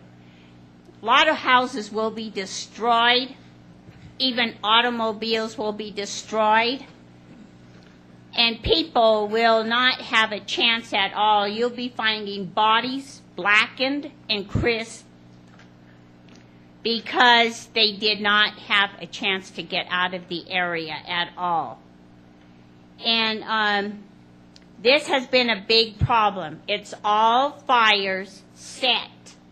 They want to destroy us, period. They want to make sure that we are going to be dead. We don't have a place to live. Kathy, keep it on fire consolidation, please. Okay.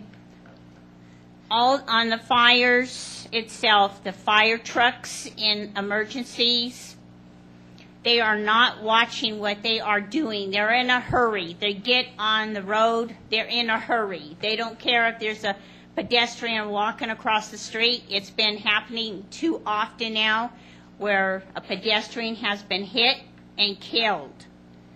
There's no sirens. There is no flashing light that I saw when this took place, but they're in a hurry to get to a fire. They're in a hurry to get someplace to a fire that has not been even existed yet, but they already know about it. And I just wanted Keep it to on bring uh, up fire that too. consolidation, please. So, um, I guess that's about all I wanted to mention.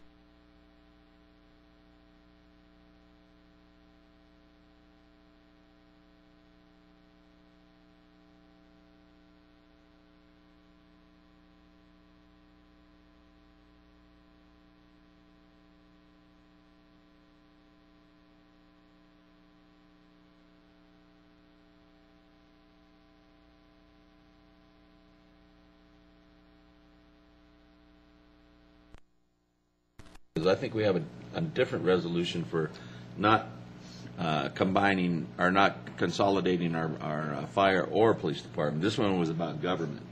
And I guess it may, s- you may say a fire district is a, a, you know, changing the form of government. Yeah.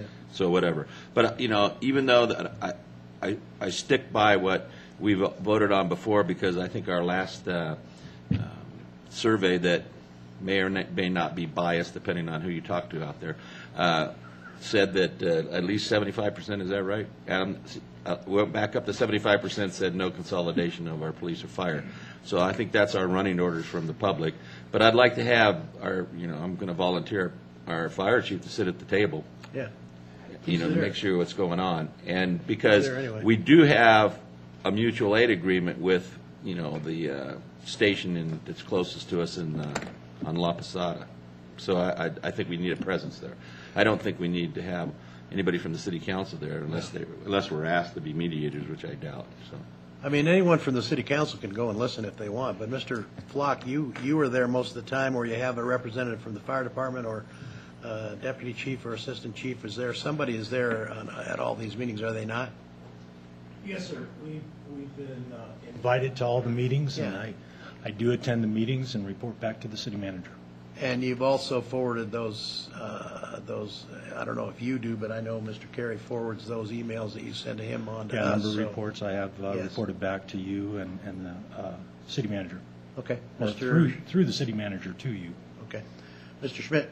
Thank you, Mr. Mayor. Uh, Chief, I'm sorry to interrupt your your previous presentation there.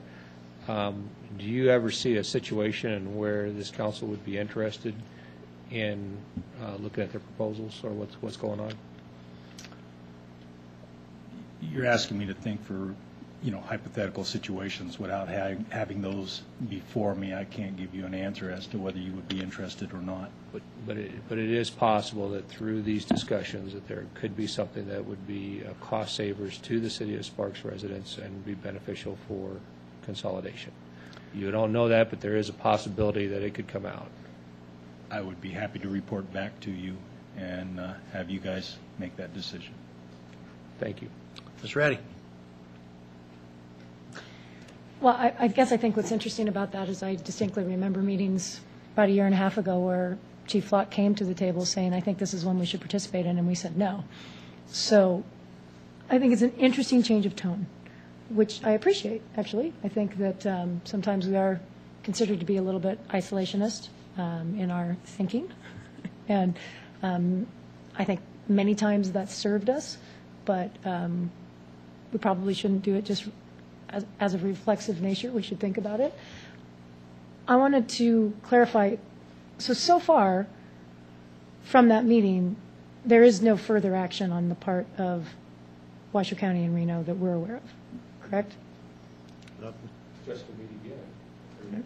Yeah, they scheduled the meeting for the 19th. The tenor of the motions by Peter Hassett uh, were to uh, begin a rapid series of direct meetings uh, to form a regional fire district and to use a JPA as the tool to meet uh, weekly or every two weeks, uh, but they wanted this to happen in rapid succession. And was that intended to be a committee of the whole, where the entire council and the entire county It- commission were meeting It is a series of joint meetings, uh, which would encompass uh, the entire council and the Board of County Commissioners, and not a subcommittee, which is one of the things they've been doing uh, prior to this point. So I guess the- then where I would sit is, I, I think that that's an awful lot of staff time and council time to commit to when we are just absolutely, I don't think, changing our position in terms of us joining in any JPA or consolidated fire district. So unless we're going to change that, asking the staff to, to staff that, that specific thing doesn't make a whole lot of sense to me. That said, I do like um, changing our tone a little bit and saying, yes, please, chief, do go sit in those meetings. And if you see something that you think that the city should consider, that you bring it back and know that that will be considered openly and not just automatically saying, no, that's, that's not Sparks, that's not what we do. I think that's always been the case, though. Yeah, the beauty of technology allows me to DVR certain meetings and watch them at home and then report back to you, um, as well as the uh, Washoe County Fire Services uh, uh, Coordinator, as well as the Reno Chief have been um, very good about sharing information with me as to their direction from, from their bodies. Okay, so we really don't need to take any action on this, Sean, or do you want some kind of action? Uh, We did provide you a staff recommendation for action, and uh, the only point that I- I wanted to get out there is, uh, this goes beyond uh, just a fire issue. If they're forming a regional fire district, it is a revenue, and it is a tax question. And uh, f- for that, our recommendation was that the manager and uh, the fire chief uh, monitor these meetings and report back to you.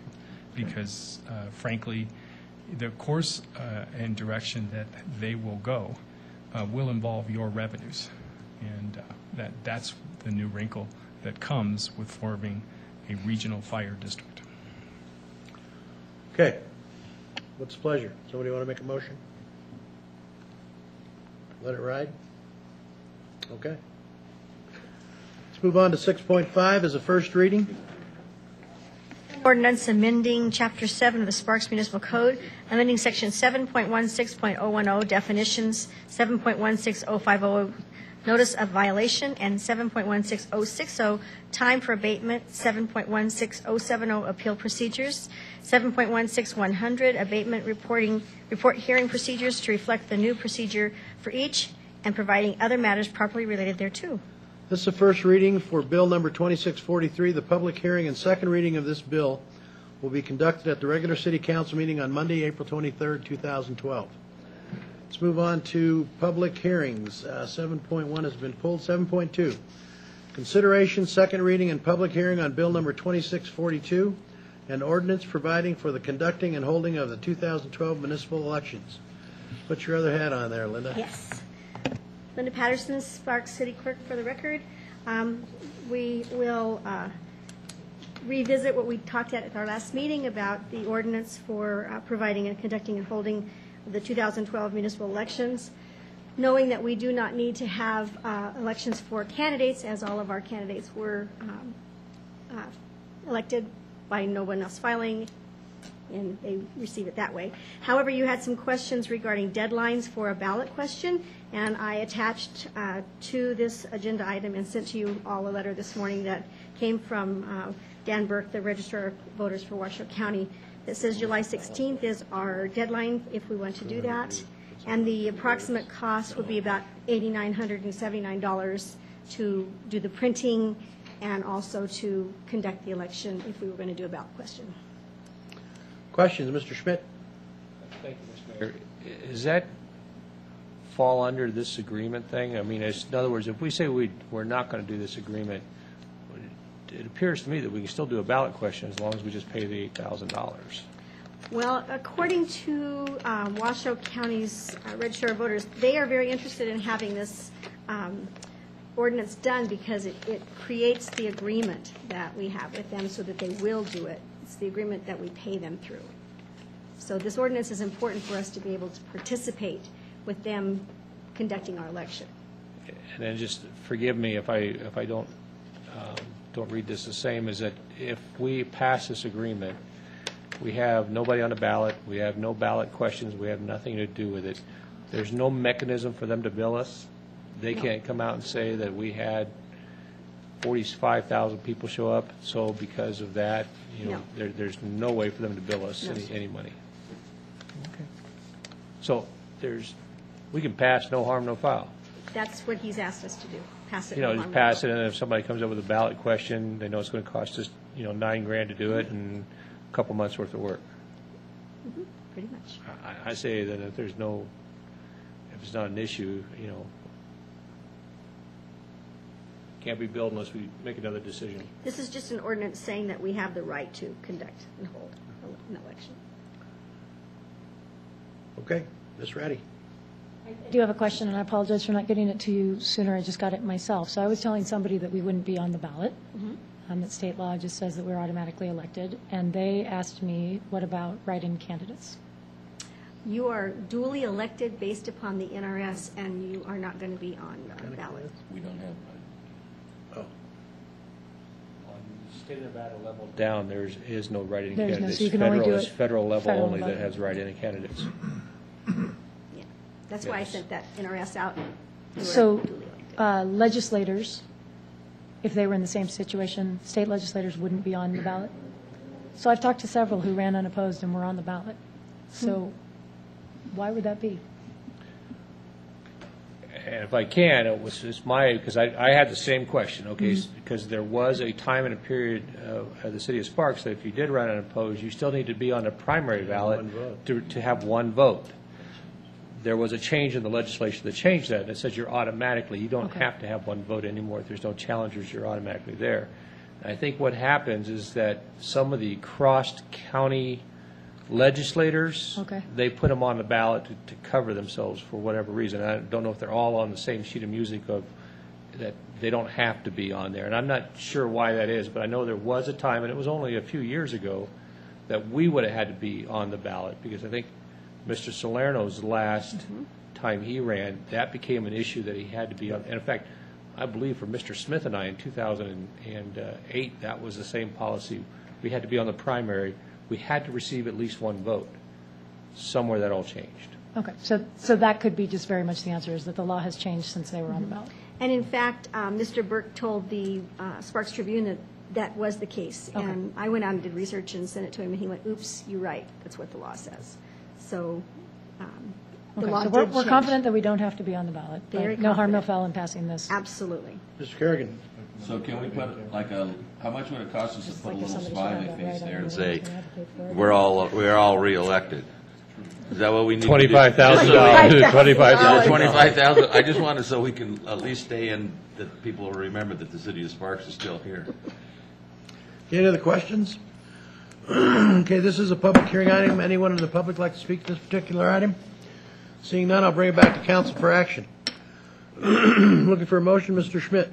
Mr. Mayor, I'd like to move to adopt Bill 2642, an ordinance providing the conducting and holding of the 2012 municipal elections, and instruct the city clerk to publish this ordinance. Have a second? Second. Moved by Councilman Schmitt, seconded by Councilman Carrigan to approve agenda item 7.2 as outlined by staff. Any further discussion? Seeing none, please vote.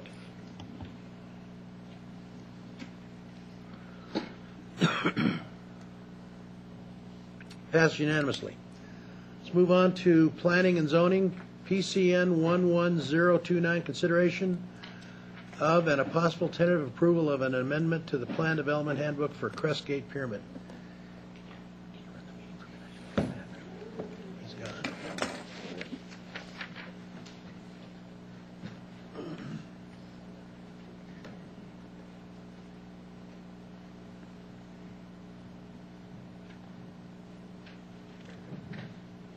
The lights aren't coming on. Oh, there they are. Good afternoon. I- Well, Mayor Martini just walked out. Council, I'm Karen Melby, Senior Planner. Before you today is a revised Crestgate Pyramid Plan Development. I've pla- placed on the DocuCam, outlined in red, the property in question. As a brief recap, this Plan Development Handbook was before you in February, where the applicant proposed an alternative plan. You remanded it back to the Planning Commission, which they reviewed on March 15th. And before you today is the revised handbook. Planning Commission has reviewed it and is forwarding a recommendation of approval. The staff is requesting to, I mean, the applicant is requesting to amend the Plan Development Handbook for Crestgate Pyramid. The recorded Plan, de- the Plan Development Handbook permits the option of office and senior housing. This request is a removal of the senior housing as an option. The revised site plan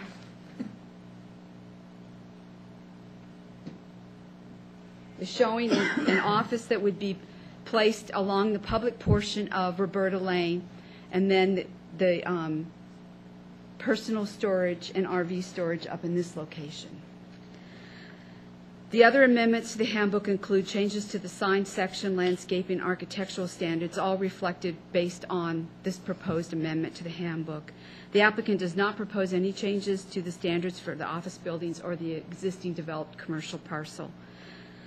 I request that the clerk put into the minutes the PD findings, which I will forward to you. Based on the PD findings, 1 through 21, Planning Commission and staff recommend approval of the plan, the amendment to the Crestgate Pyramid Plan Development Handbook. This concludes my presentation, and I'd be happy to answer any questions. Are there any questions? Okay, seeing none, the applicant wishes to say anything?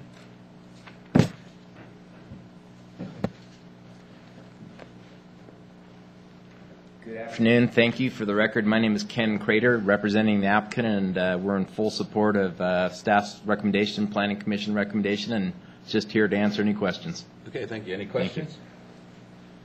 Okay, seeing none, we'll go ahead and, uh, okay, did you have a question? Yeah, this, the plan that we ended up with, is that the one that came in late? Yes, that's correct. 4821Z X Y squared? To add the one additional office on Roberta Lane. And that's what we ended up with, and that's what the planning commission recommended? That's correct. Perfect. Thank you. Okay, seeing no uh, further questions, we'll uh, open up the public hearing. I have one uh, speaker, Ms. Brandhorst. Please keep it on the subject of the plan development.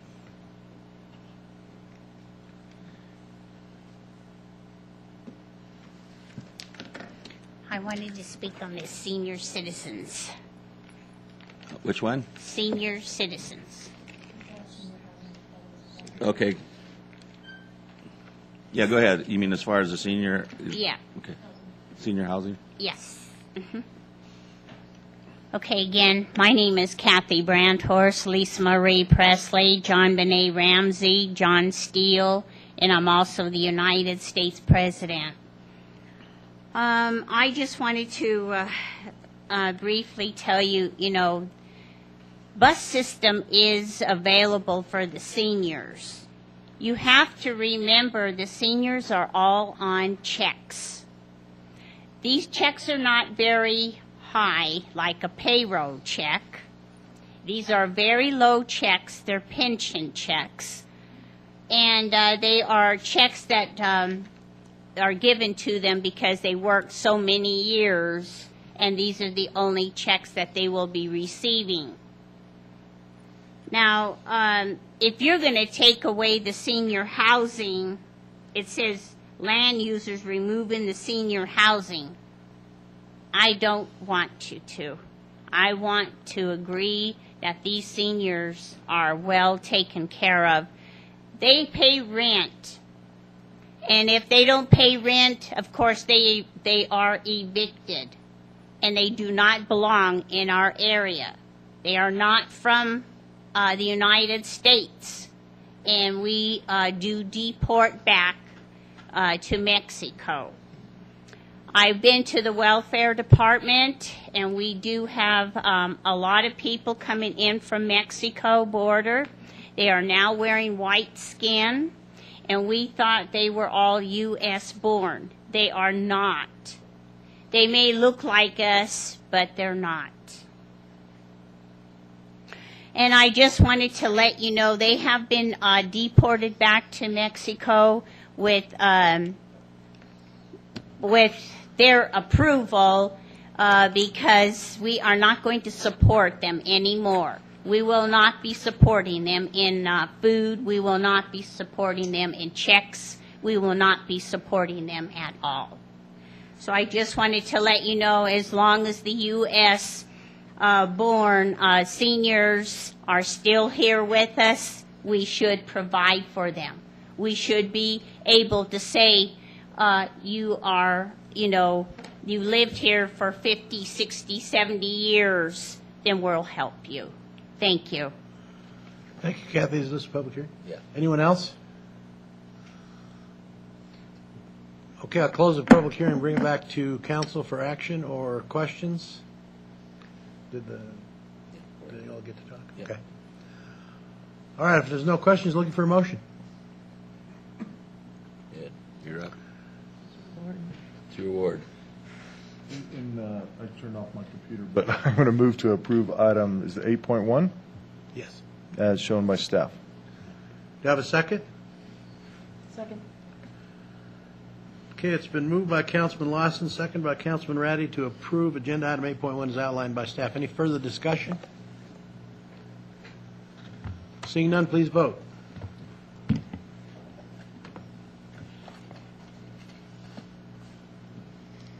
Passes unanimously. Okay, thanks, gentlemen, appreciate it. Thank you. Thanks. uh, Okay, comments from the city council or city manager? No one? Comments from the public? Hurry up. You can fill it out later. Okay. You got three minutes there, Miss Brandhorst. Okay, thank you Um, My name is Kathy Brandhorst, Lisa Marie Presley, JonBenét Ramsey, John Steele, and I'm also the United States President. Um, I just wanted to bring up, I just moved out of the Sundance uh, Motel, but uh, it looks like we're going to need more help than ever. Uh, The uh, prayer house still is loaded with guns and nobody has actually cleaned out those guns out of the prayer house. Again, I mentioned the mission. They are with the mission on Fourth Street and Record Street. And uh, these are people coming here in our area. They're all, all on death row. And what I mean by that, uh, they all are on body parts. Now, since I've moved out of the uh, Sundance uh, Motel, they have followed us to our new motel, Keno Motel, located on Arlington. And um, I just wanted to let you know Scott, Jean, and Sabrina have also moved in that area too. But we are having problems with Ira Gruber, Bob Cashell, and we are also having problems with um, Ron and um, Vincent Nauman. And I just wanted to mention, you know, um, Bob Cashell is their grandfather. So, of course, they're going to stick together and they are going to um, try to destroy the whole city. They set several bombs already, murdering the population of almost 100,000 people. So I just wanted to let you know we need to do something about this problem. This problem cannot be existing every day of our lives. We need to do something. I mean, Las Vegas was here just a few minutes ago, and they have suggested maybe we get together and maybe we should have this problem resolved. It's true. They said they were bombed so many times because of the same men that I've been mentioning every day in every public meeting. So I just wanted to let you know these three kids still need help. Sabrina is only, uh, well, she's seven. She's not nine. Jean is 11, not 12. and Scott is only five and not seven. And these kids don't have a place to live. They're thrown out on the streets and uh, they are smashed with steamrollers because remember, the father needs inheritance. And uh, he's going to continue to murder the population because we find out who is murdering these children. Thank you. Thank you, Mr. Brandhorst. Anyone else? Okay, seeing no further business, we're adjourned.